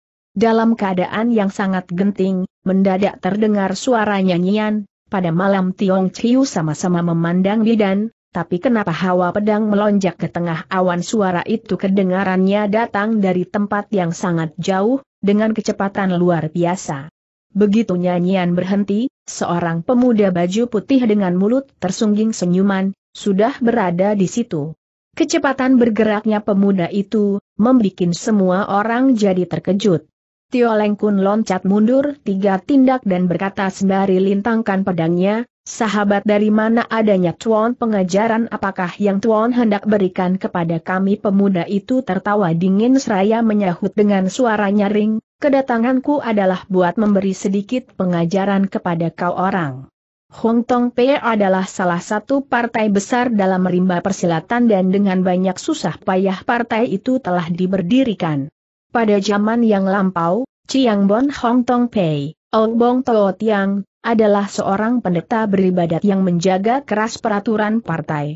Akan tetapi, begitu pimpinan jatuh ke dalam tanganmu, orang-orang Hong Tong Pei lantas saja lakukan segala perbuatan yang tidak pantas. Apa kamu orang tidak merasa malu kepada leluhurmu yang sudah berada di alam baka pemuda baju putih itu baru saja berusia kurang lebih 20 tahun, akan tetapi ia bawa sikap seperti caranya seorang tingkatan tua bicara terhadap orang dari tingkatan muda. Maka tidaklah heran jika Tio Lengkun lantas naik darahnya dan ia dongak sembari tertawa besar. Dengan berkata begitu, Chuan rupanya ingin membersihkan rumah tangga Hong Tong Pei katanya dengan suara dingin.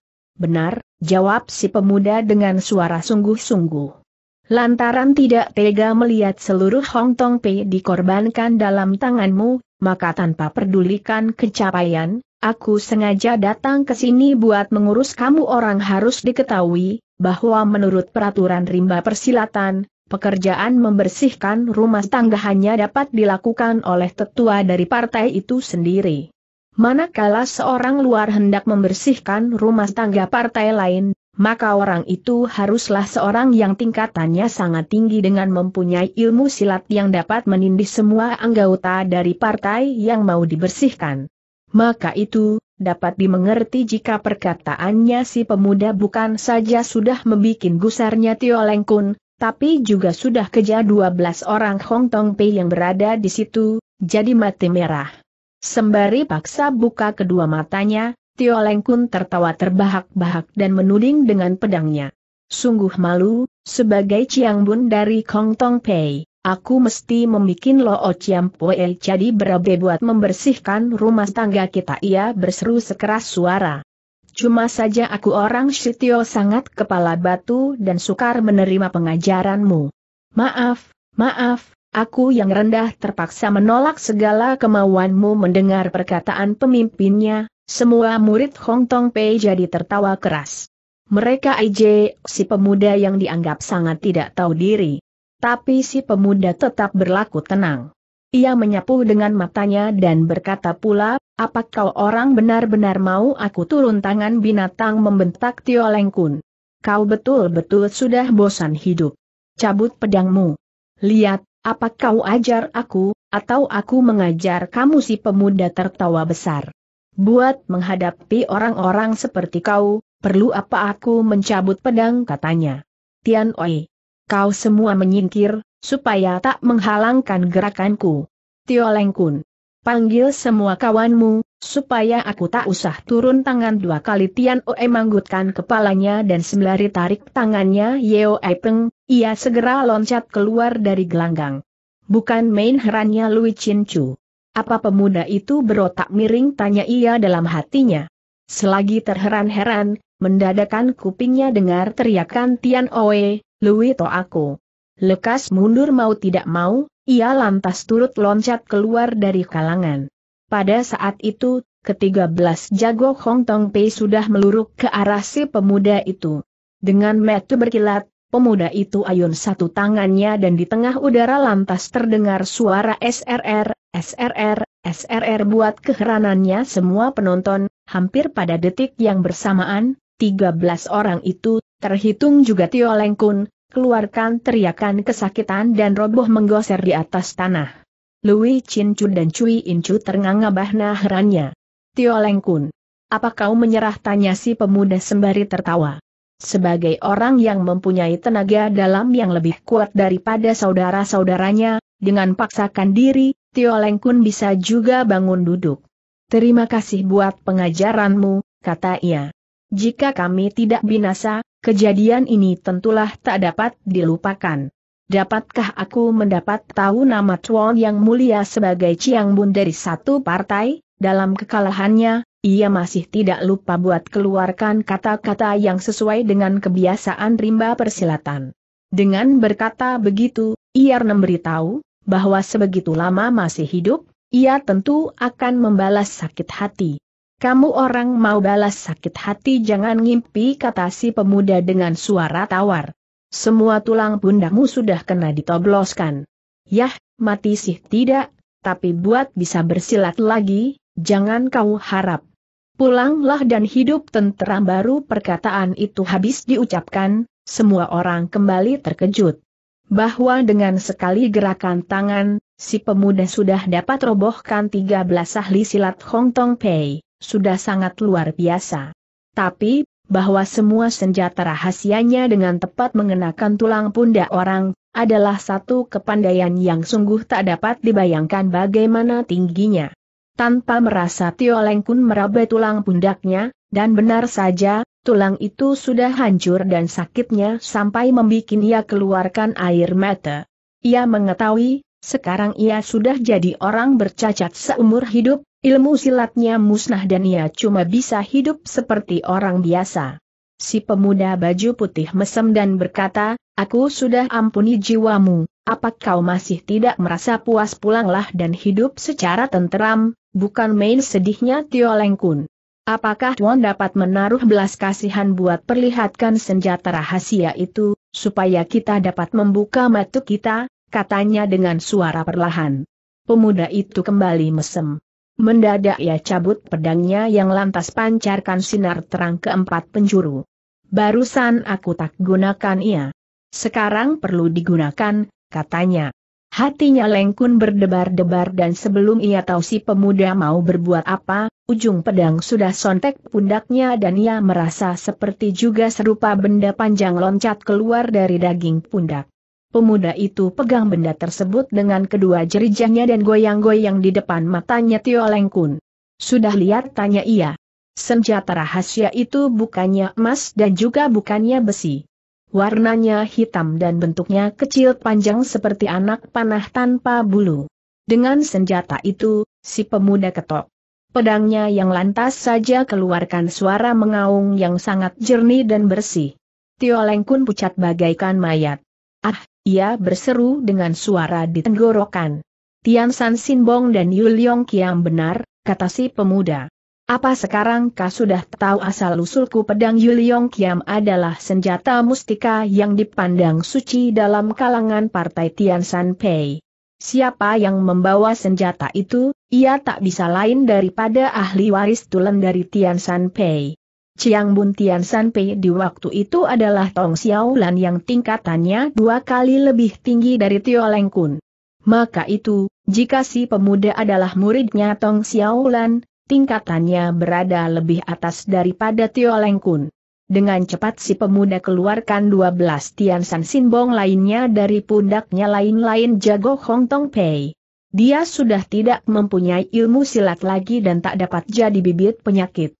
Tak usah bikin matanya menjadi buta, kata si pemuda sembari berpaling pada Yeo Epeng.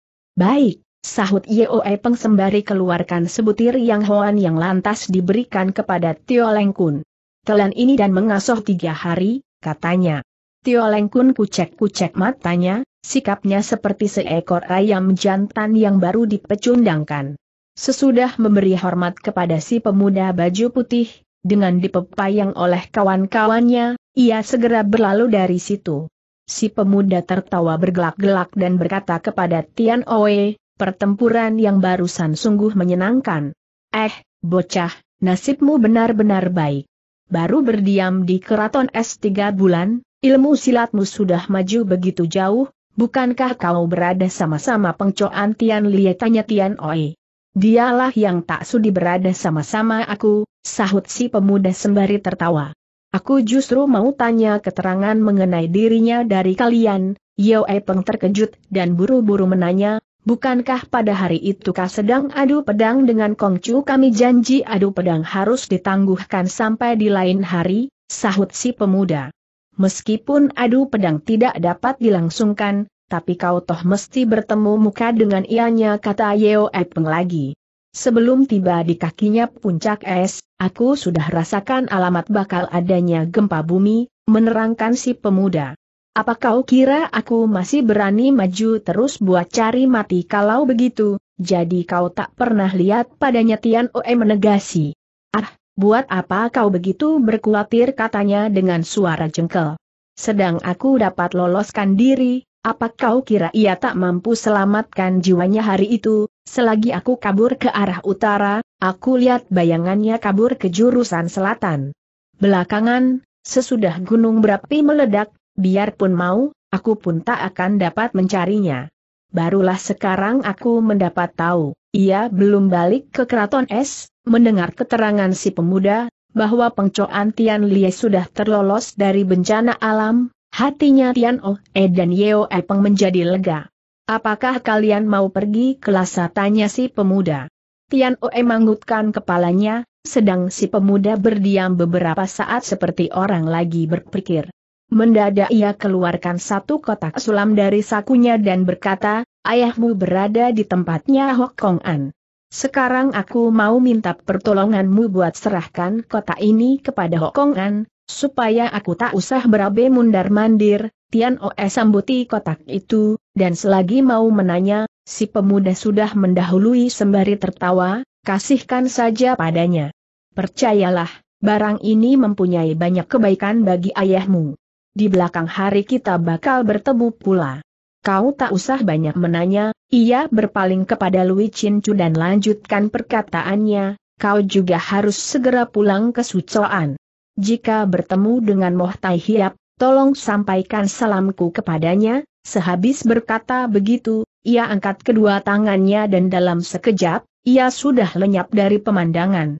Sesudah dapat banyak pengalaman pahit geletir, habislah segala kesombongannya Lui Cincu. Dengan mulut ternganga dan hati yang kagum tak habisnya, ia awasi bayangannya si pemuda baju putih yang melesat seperti anak panah. Sesudah mengasuh beberapa lama, keempat orang lantas berpisahan. Lui Chin-chu dan Cui In-chu menuju ke Sucoan, sedang Tian Oh E dan Yeo E Peng teruskan perjalanan ke Lhasa. Tanpa mendapat rintangan suatu apa, pada satu maghrib Tian Oh E dan Yeo E Peng tiba di ibu kota Tibet itu. Begitu masuk ke dalam kota, selagi Tian Oh E mau tanya orang di mana letaknya markas besar Hokongan, Yeo E Peng mendadak berkata, kenapa begitu terburu-buru marilah kita pesiar barang semalaman, buat lihat-lihat pemandangan Lhasa di waktu malam. Biarlah besok saja cari ayahmu, Tian O mesem. Ia jadi ingat janjinya buat ajak Yeo Epeng pesiar di kota Lhasa dan ia juga merasa, bahwa begitu lekas sudah masuk ke markas besarnya Hokongan, mereka tidak dapat keluar masuk lagi sesuka hati. Maka itu, tanpa membantah, ia lantas tuntun tangannya Yeo Epeng dan keliling di seputar kota. Sebagai ibu kota Tibet, Lhasa dikurung oleh bukit-bukit yang tingginya dari 4 sampai 5 ribu kaki. Rumah-rumah yang papak dan tenda-tenda di sana-sini memperlihatkan pemandangan yang lain daripada apa yang terlihat di Tiongkok asli. Di waktu malam, sinar lilin yang muncul dari beribu-ribu tenda memberi satu pemandangan yang sangat luar biasa. Keraton Potala yang berdiri di atas bukit dan atapnya mengeluarkan sinar emas berkedepan, kelihatannya angker dan indah sekali. Mari kita pergi ke sana, mengajak Jie Oepeng itulah keratonnya Buddha hidup, mana boleh orang sembarangan masuk, menerangkan Tian Oi. Mari kita pergi ke lapangan yang terletak di sebelah bawahnya, lapangan yang terletak di bawahnya Keraton Potala adalah pusatnya keramaian dari kota Lhasa. Di seputar lapangan berdiri tenda-tenda yang berjejer-jejer, sedang di tengah-tengah terdapat macam-macam pedagang yang gelar barang-barangnya di atas tanah. Di sebelahnya itu, terdapat juga rombongan-rombongan penyanyi, wayang, dangsu dan sebagainya. Yeo Epeng yang biasa berdiam dalam keraton yang sepi, tentu saja belum pernah saksikan keramaian yang sedemikian rupa. Ia merasa, keindahan bilang ribu lilin dan lampu yang gilang gemilang adalah lebih mengagumkan dari apa yang dapat dilihat di keraton es sesudah nonton orang India bermain ular, mereka pergi saksikan pertunjukan yang diberikan oleh rombongan orang-orang Hapsat Kek dari Sinkiang. Yang satu kasih lihat kepandaian menelan pedang, sedang yang lain semiurkan api menyala dari mulutnya. Orang itu kasih masuk sebatang pedang yang panjangnya tiga kaki ke dalam mulutnya. Pedang itu amblas dan yang ketinggalan di luar mulut cuma gagangnya saja yang pendek. Ah kata Yeo Epeng dengan suara kagum. Ilmu silatnya orang itu kelihatannya melebihi pemuda baju putih bukan ilmu sejati, semacam sulap, menerangkan Tian Oes sembari tertawa. Baru saja Tian Oe berkata begitu, orang itu cabut pedangnya yang lantas ditekuk-tekuk. Ternyata pedang itu terbuat dari timah tipis yang sangat lemas. Yeo Peng tertawa terbahak-bahak dan hatinya girang sekali. Mendadak ia rasakan badannya disenggol orang dan ketika ia meraba dengan tangannya, pengpok Han Kong Kiam sudah lenyap. Bukan main kagetnya Yeo Peng. Ia menengok dan lihat Tian Oes sedang cekal satu orang sembari membentak, dia tak salah lagi orang itu adalah si pencopet, sebab sarung pedang kelihatan nongol di bawah jubahnya yang panjang. Yeo pengenjut badannya buat terbut pulang pedangnya. Tiba-tiba orang itu tertawa nyaring dan dengan sekali goyang badannya, ia sudah terlepas dari cekalannya Tian Oe, akan kemudian kabur dengan menyelesap di antara orang banyak. Tian Oe ternganga sambil pegangi jubahnya si copet, yang ternyata sudah akali ia dengan tipu tonggerat lepaskan kulit, Selagi Tian Oi pegang tangan jubahnya dan hendak membekuk dengan cekalan kina hoat, si copet loloskan tangannya dari tangan jubah dan kabur dengan tinggalkan jubahnya. Sembari berteriak tangkap, Tian Oi loncat memburu. Meskipun ilmu entengi badannya sudah cukup tinggi, tapi si copet terlebih gesit lagi dan dalam tempo sekejap, ia sudah kabur keluar dari antara orang banyak.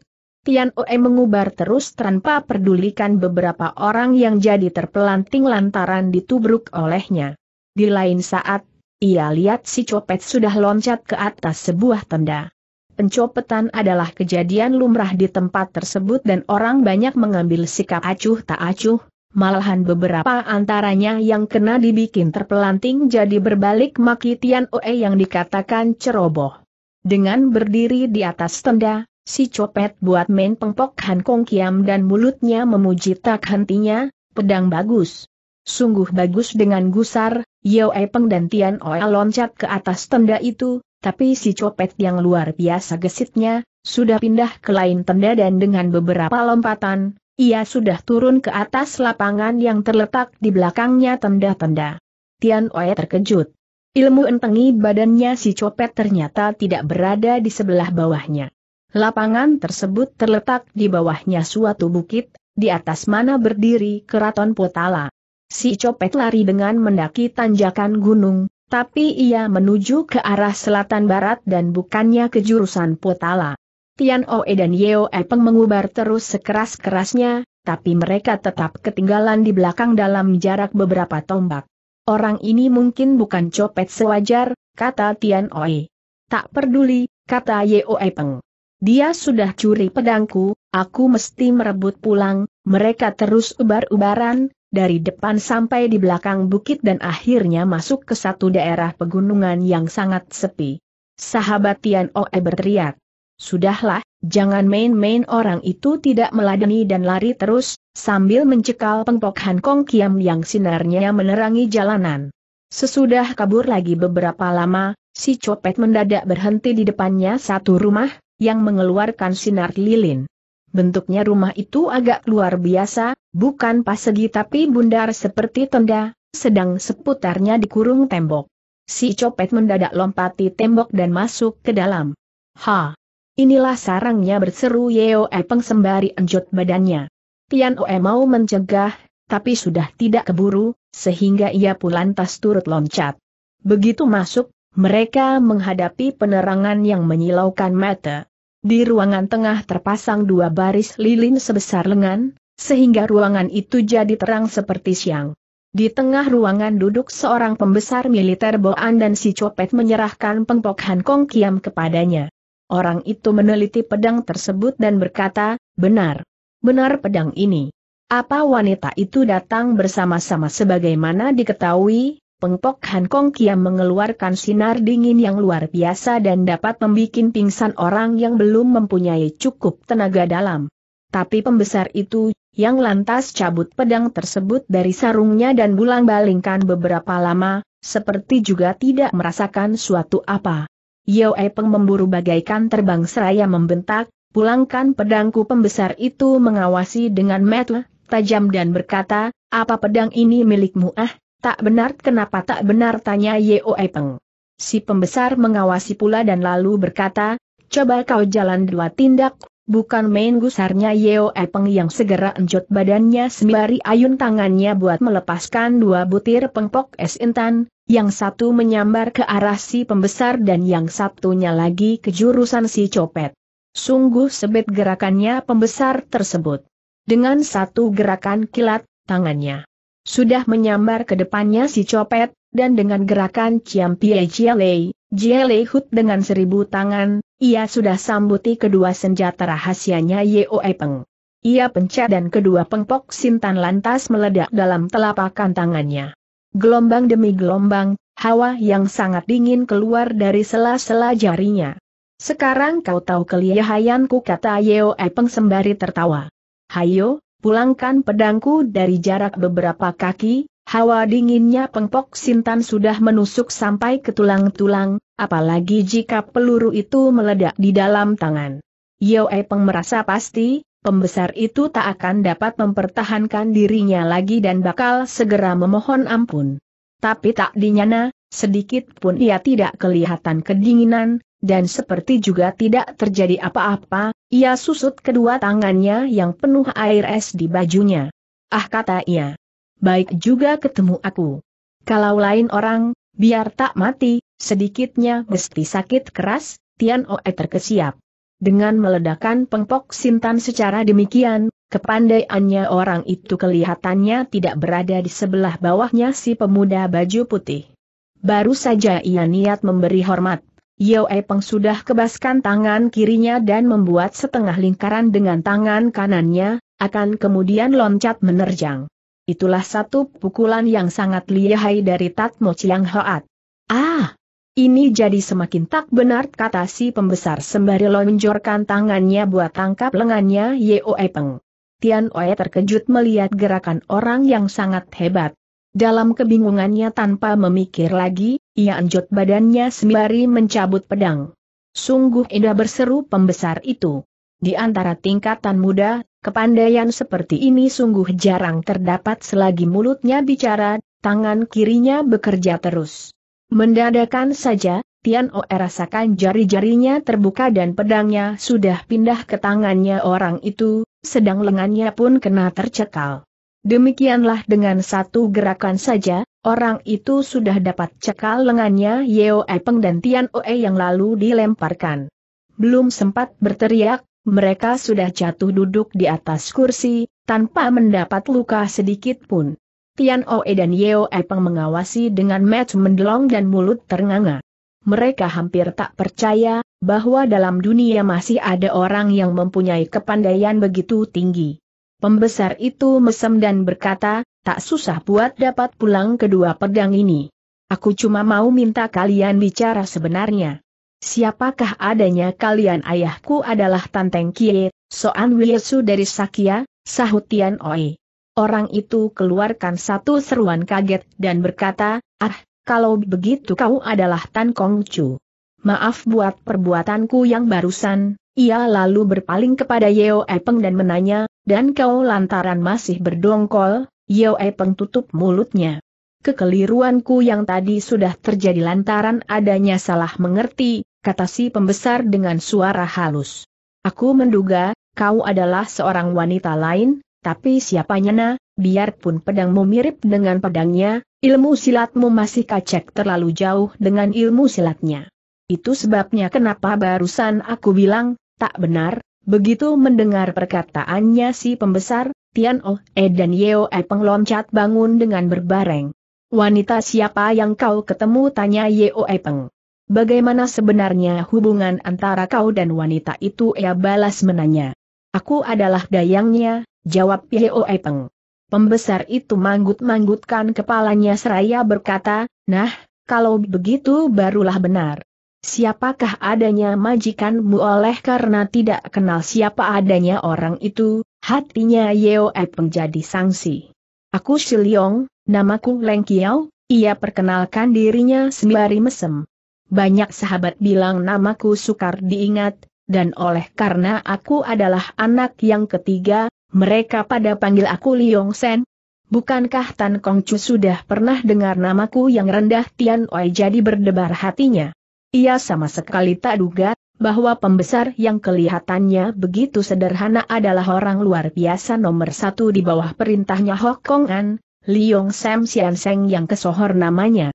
Dari ayahnya, Tian Oe pernah dengar, bahwa di bawah perintahnya Panglima Besar tersebut terdapat seorang pandai yang tak mau munculkan mukanya.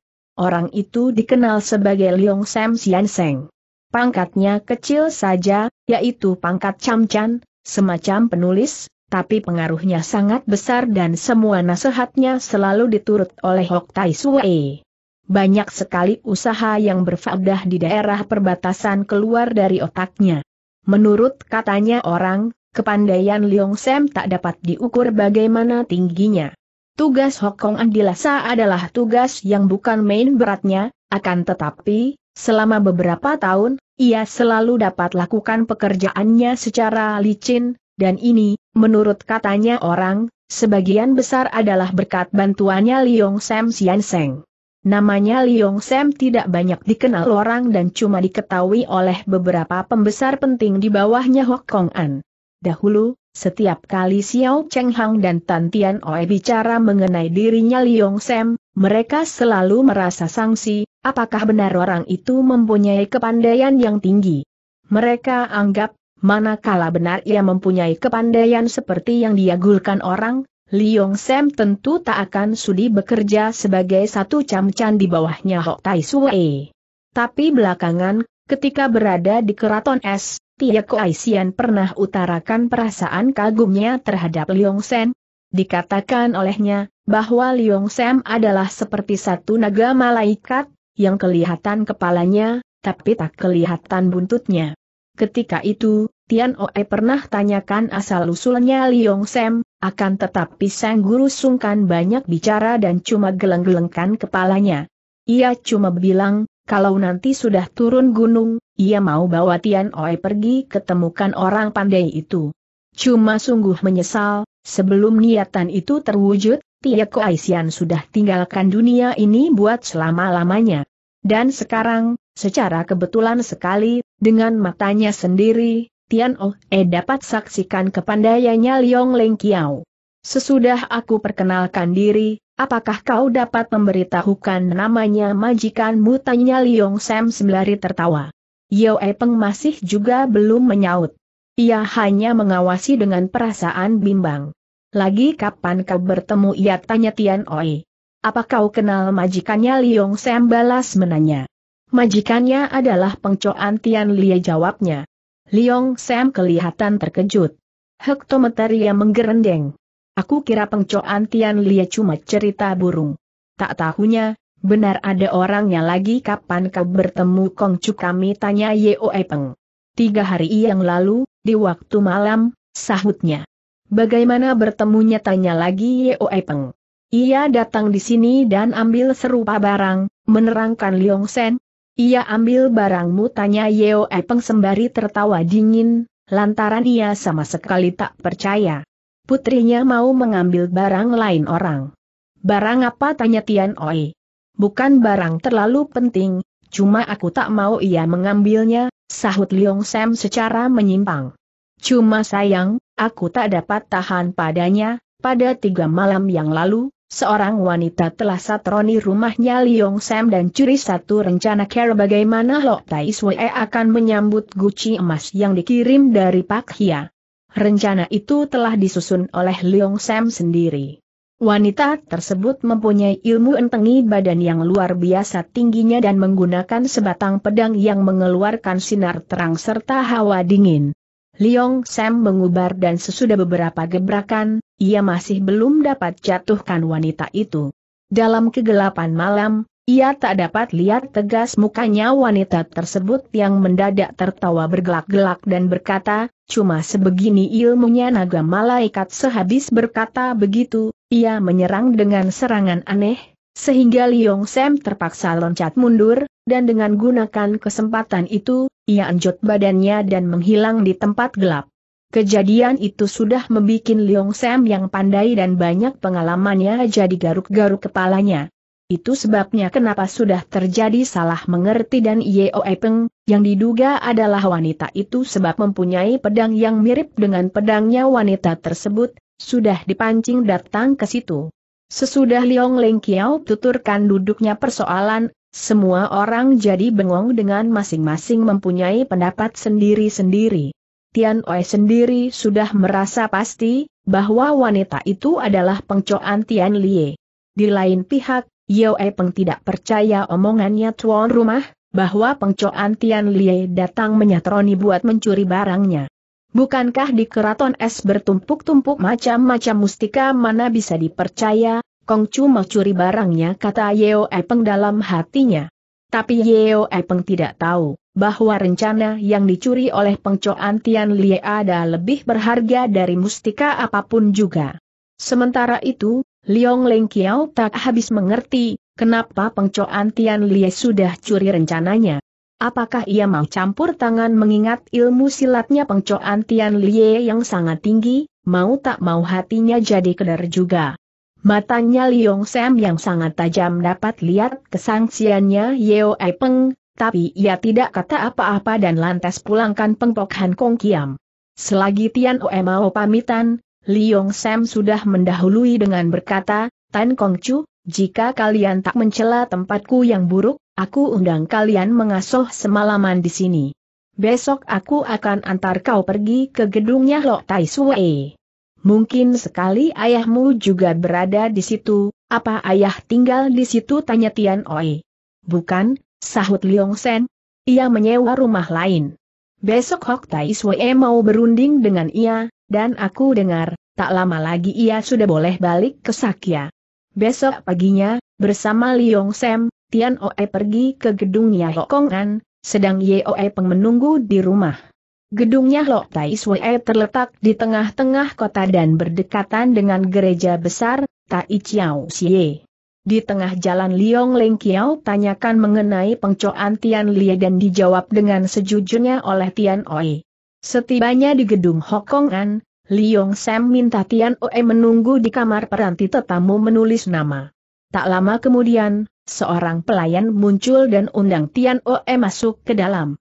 Baru saja kakinya menginjak undakan batu, ia dengar suaranya Liong Sam yang berkata sembari tertawa, Tanta izin, aku bilang hari ini kau bakal dapat kegirangan besar, tapi kau tidak mau percaya. Coba lihat, Siapa yang datang begitu masuk, ia lihat di tengah-tengah ruangan berduduk seorang pembesar Boan Chiu yang berusia kurang lebih 40 tahun. Ia berwajah angker sekali, tapi pada keangkeran itu terselip sinar kejengkelan. Orang yang duduk di sebelahnya pembesar Boan tersebut bukan lain daripada ayahnya sendiri, Tan Lini Kie. Melihat putranya, Teng Kiai girang tak terhingga. Oejie ia berseru. Lekas memberi hormat kepada Hok Tai Sue Tian U segera jalankan peradatan sesuai dengan adat istiadat, dan sesudah itu, ia lalu berdiri di samping ayahnya.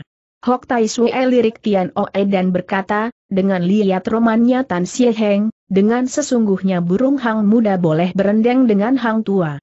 Aku berani bilang, di belakang hari nama dan keberuntungannya Tan Xie Heng akan berada di sebelah atasannya Tai Jin sendiri. Sungguh aku harus memberi selamat kepada Taijin, buat itu semua kami ayah dan anak tentu saja harus mengandal kepada bantuannya Tai Sue, sahut Teng Kie. Tian Oi sebal mendengar kata-kata yang manis-manis dari kalangan pembesar negeri, maka itu, tanpa menunggu sampai Hokong An membuka mulut lagi, ia sudah mendahului. Hok, Tai Sue, katanya. Ada orang minta aku sampaikan serupa barang kepadamu, ada orang minta kau sampaikan barang kepadaku menegasi Panglima itu dengan suara heran. Barang apa Tian Oe rogoh sakunya dan keluarkan kotak sulam yang ia terima dari si pemuda baju putih dan serahkan itu kepada Hokongan, yang lantas buka tutupnya. Kotak itu ternyata berisi sejilid buku. Begitu membaca, paras mukanya Hokongan jadi berubah, dan sembari pegang buku itu dengan satu tangannya, ia menanya dengan suara tidak sabaran, siapa yang berikan buku ini pada mukanya Panglima itu, yang tadi kelihatan begitu tenang, sekarang terlukis perasaan kaget dan girang. Teng Kie gelisah dan awasi putranya. Yang memberikan adalah seorang muda yang kelihatannya seperti anak sekolah, yang aku ketemu di tengah jalan, menerangkan Tian Oi. Tan Teng Kie yang tidak mengetahui apa isinya buku itu, jadi merasa bingung dan tidak mengerti, care bagaimana putranya boleh sembarangan terima saja barangnya orang yang tak dikenal, buat disampaikan kepada Panglima Besar itu. Tapi Hokong An tidak jadi gusar dan tangannya menggapai kepada Liong Leng Kiao, yang, begitu lihat isinya buku tersebut, segera berkata dengan suara girang, Hok Tai Sue, sekarang kau sudah boleh legakan hati. Tan Kong Chu, sahabatmu sudah banyak membantu kami, urusan ini, benar-benar mengherankan, kata lagi Hokong An. Tan Xie Heng, aku minta kau bicara terus terang. Siapakah adanya sahabatmu itu aku bertemu padanya secara kebetulan saja dan tak mengetahui asal-usulnya, sahut Tian Oi. Aku rasa orang itu adalah seorang pendekar yang berkepandaian sangat tinggi, berkata Liong Sen. Menurut pendapatku, buku ini bukannya dicuri olehnya, bagaimana kau tahu tanya Hok Kong An. Jika ia yang curi, tentu ia tak akan kirim pulang dengan begitu saja, jawab Liong Sen.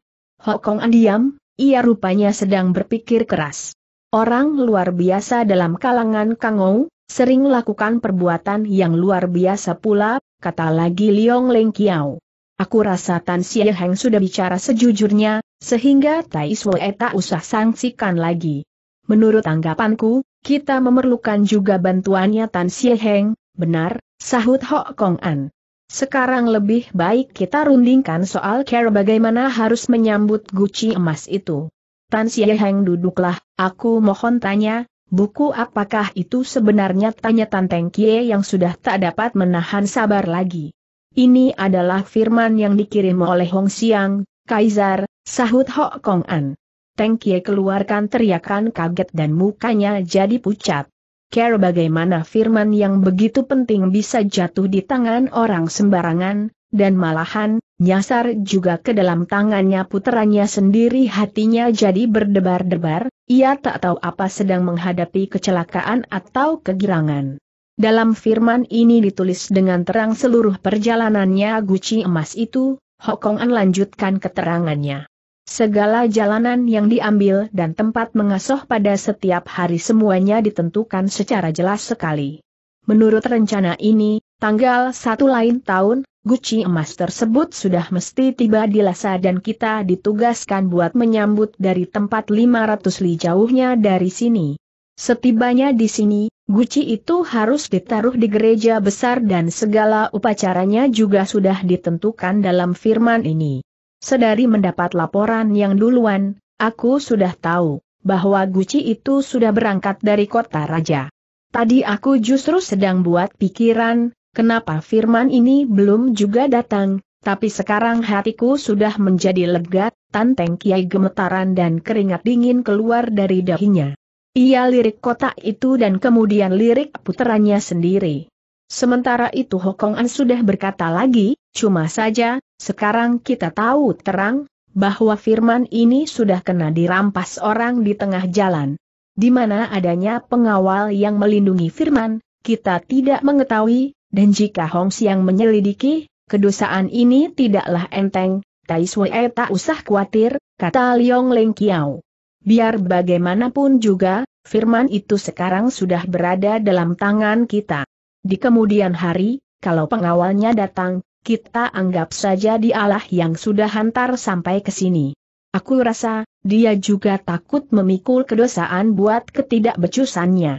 Maka itu, soal hilangnya firman di tengah jalan tentu tidak akan sampai diketahui oleh Hong Xiang, bagaimana kau dapat pastikan, pengawal yang mengantar firman masih hidup atau sudah mati tanya Hok Kong An. Menurut peraturan dalam kalangan Kangou, kalau pengawal itu kena dibinasakan, dalam kotak tentu mesti ditaruh pisau atau lain benda buat memberitahukannya, menerangkan Liong Leng Kiao.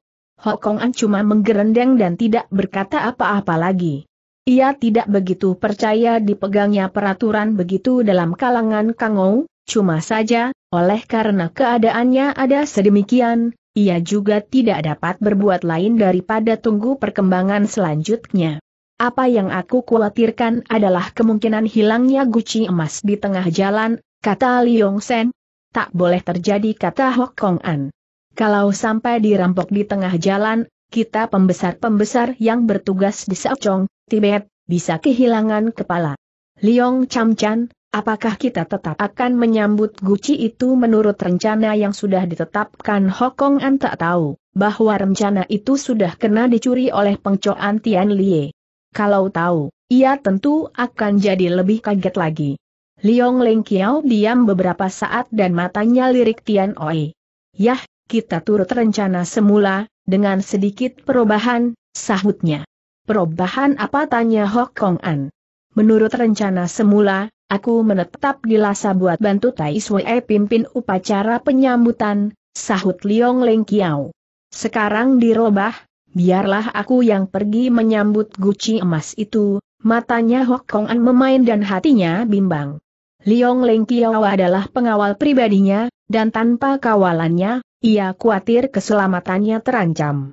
Melihat Panglima itu bersangsi, Liong Leng Kiao segera berkata, kalau toh ada orang maui guci itu, percobaan merampas tentu dilakukan, di tengah jalan. Penjagaan di sini ada cukup kuat, sehingga aku rasa Tai Sue tak usah berkhawatir. Di sebelahnya itu, aku akan minta Sute ku bantu mengawal Tai Sue. Andai kata sampai ada penjahat, aku anggap ia masih dapat menghadapinya, Sutenya Liong Leng Kiao bernama Ganloh, yaitu orang yang telah copet pedangnya Yeo Epeng. Biarpun ilmu silatnya masih kacek jauh dengan Seng Suheng, ia mempunyai ilmu entengi badan yang istimewa. Walaupun mengetahui kepandaiannya Ganlok masih kalah dengan suhengnya, tapi mengingat pentingnya guci itu, yang memang juga harus dilindungi oleh orang semacam Liong Leng Kiao, Hokong An segera manggutkan kepalanya buat menyatakan persetujuannya. Aku pun ingin minta bantuannya Tan Kong Chu, kata Liong Sen. Tan Teng Kie kaget dan buru-buru berkata, anakku bisa apa orang bilang, mengetahui anak tidak melebihi ayahnya, kata Liong Sam sembari tertawa. Tan Kong Chu mempunyai kepandaian sangat tinggi, maka buat apalah Tai Jin berlaku begitu sungkan pujian Liong Xian Seng tentu tak salah, Hokong An sambungi. Baiklah, kita atur begitu saja, Liong Leng Kiao mesem dan berkata pula, di sebelahnya itu, kita pun perlu minta bantuannya Tan Tai Jin, sebagai pembesar sipil, aku bisa membantu apa kata Teng Kie. Kalau sudah tiba temponya, aku bersama Tan Kong Chu dan beberapa pengikut akan berangkat lebih dahulu buat membuka jalan, kata Liong Leng Kiao. Tan Tai Jin sendiri boleh pimpin seribu serdadu pilihan buat menyambut di tempat 500 li jauhnya. Berhubung dengan itu, aku minta Hok Tai Sue suka angkat Tan Tai Jin sebagai utusan istimewa buat menyambut guci emas itu, Liong Xian Seng, kau, kau jangan main-main, kata Tengkia dengan suara gugup. Bagaimana aku bisa pimpin pasukan tentara Tantai Jin, aku bukan minta kau pergi perang atau atur barisan, jawabnya sembari mesem. Bahwa serdadu ada apa sukarnya Tantai Jin adalah seorang keluaran penlim yang hafal dalam segala rupa adat istiadat dan upacara. Menurut pendapatku, kau adalah calon satu-satunya yang paling cocok buat menjadi utusan istimewa guna menyambut guci emas itu, Tan Teng Kie cuma berpangkat Soan Wiesu, Amban, pada Sekte Sakya, yaitu pangkat sipil kelas 4. Menurut kepantasan, pangkatnya memang tidak cukup tinggi buat menjadi utusan guna menyambut kiriman yang begitu penting dari Seng Kaisar. Akan tetapi, sebagaimana diketahui, Hokong An yayasannya selalu turut nasihatnya Liong Sem, maka kali ini pun ia segera menyetujui. Ia merasa, bahwa dengan terlebih dahulu minta bantuannya Seng Putra dan kemudian memberi tugas kepada Seng Ayah, Liong Leng Kiao tentu mempunyai perhitungan yang sudah dipikir masak-masak, dan di sebelahnya itu, firman Kaisar telah didapat pulang dari tangannya Tian Oe, yang menerimanya dari seorang lain, sehingga biar bagaimanapun juga,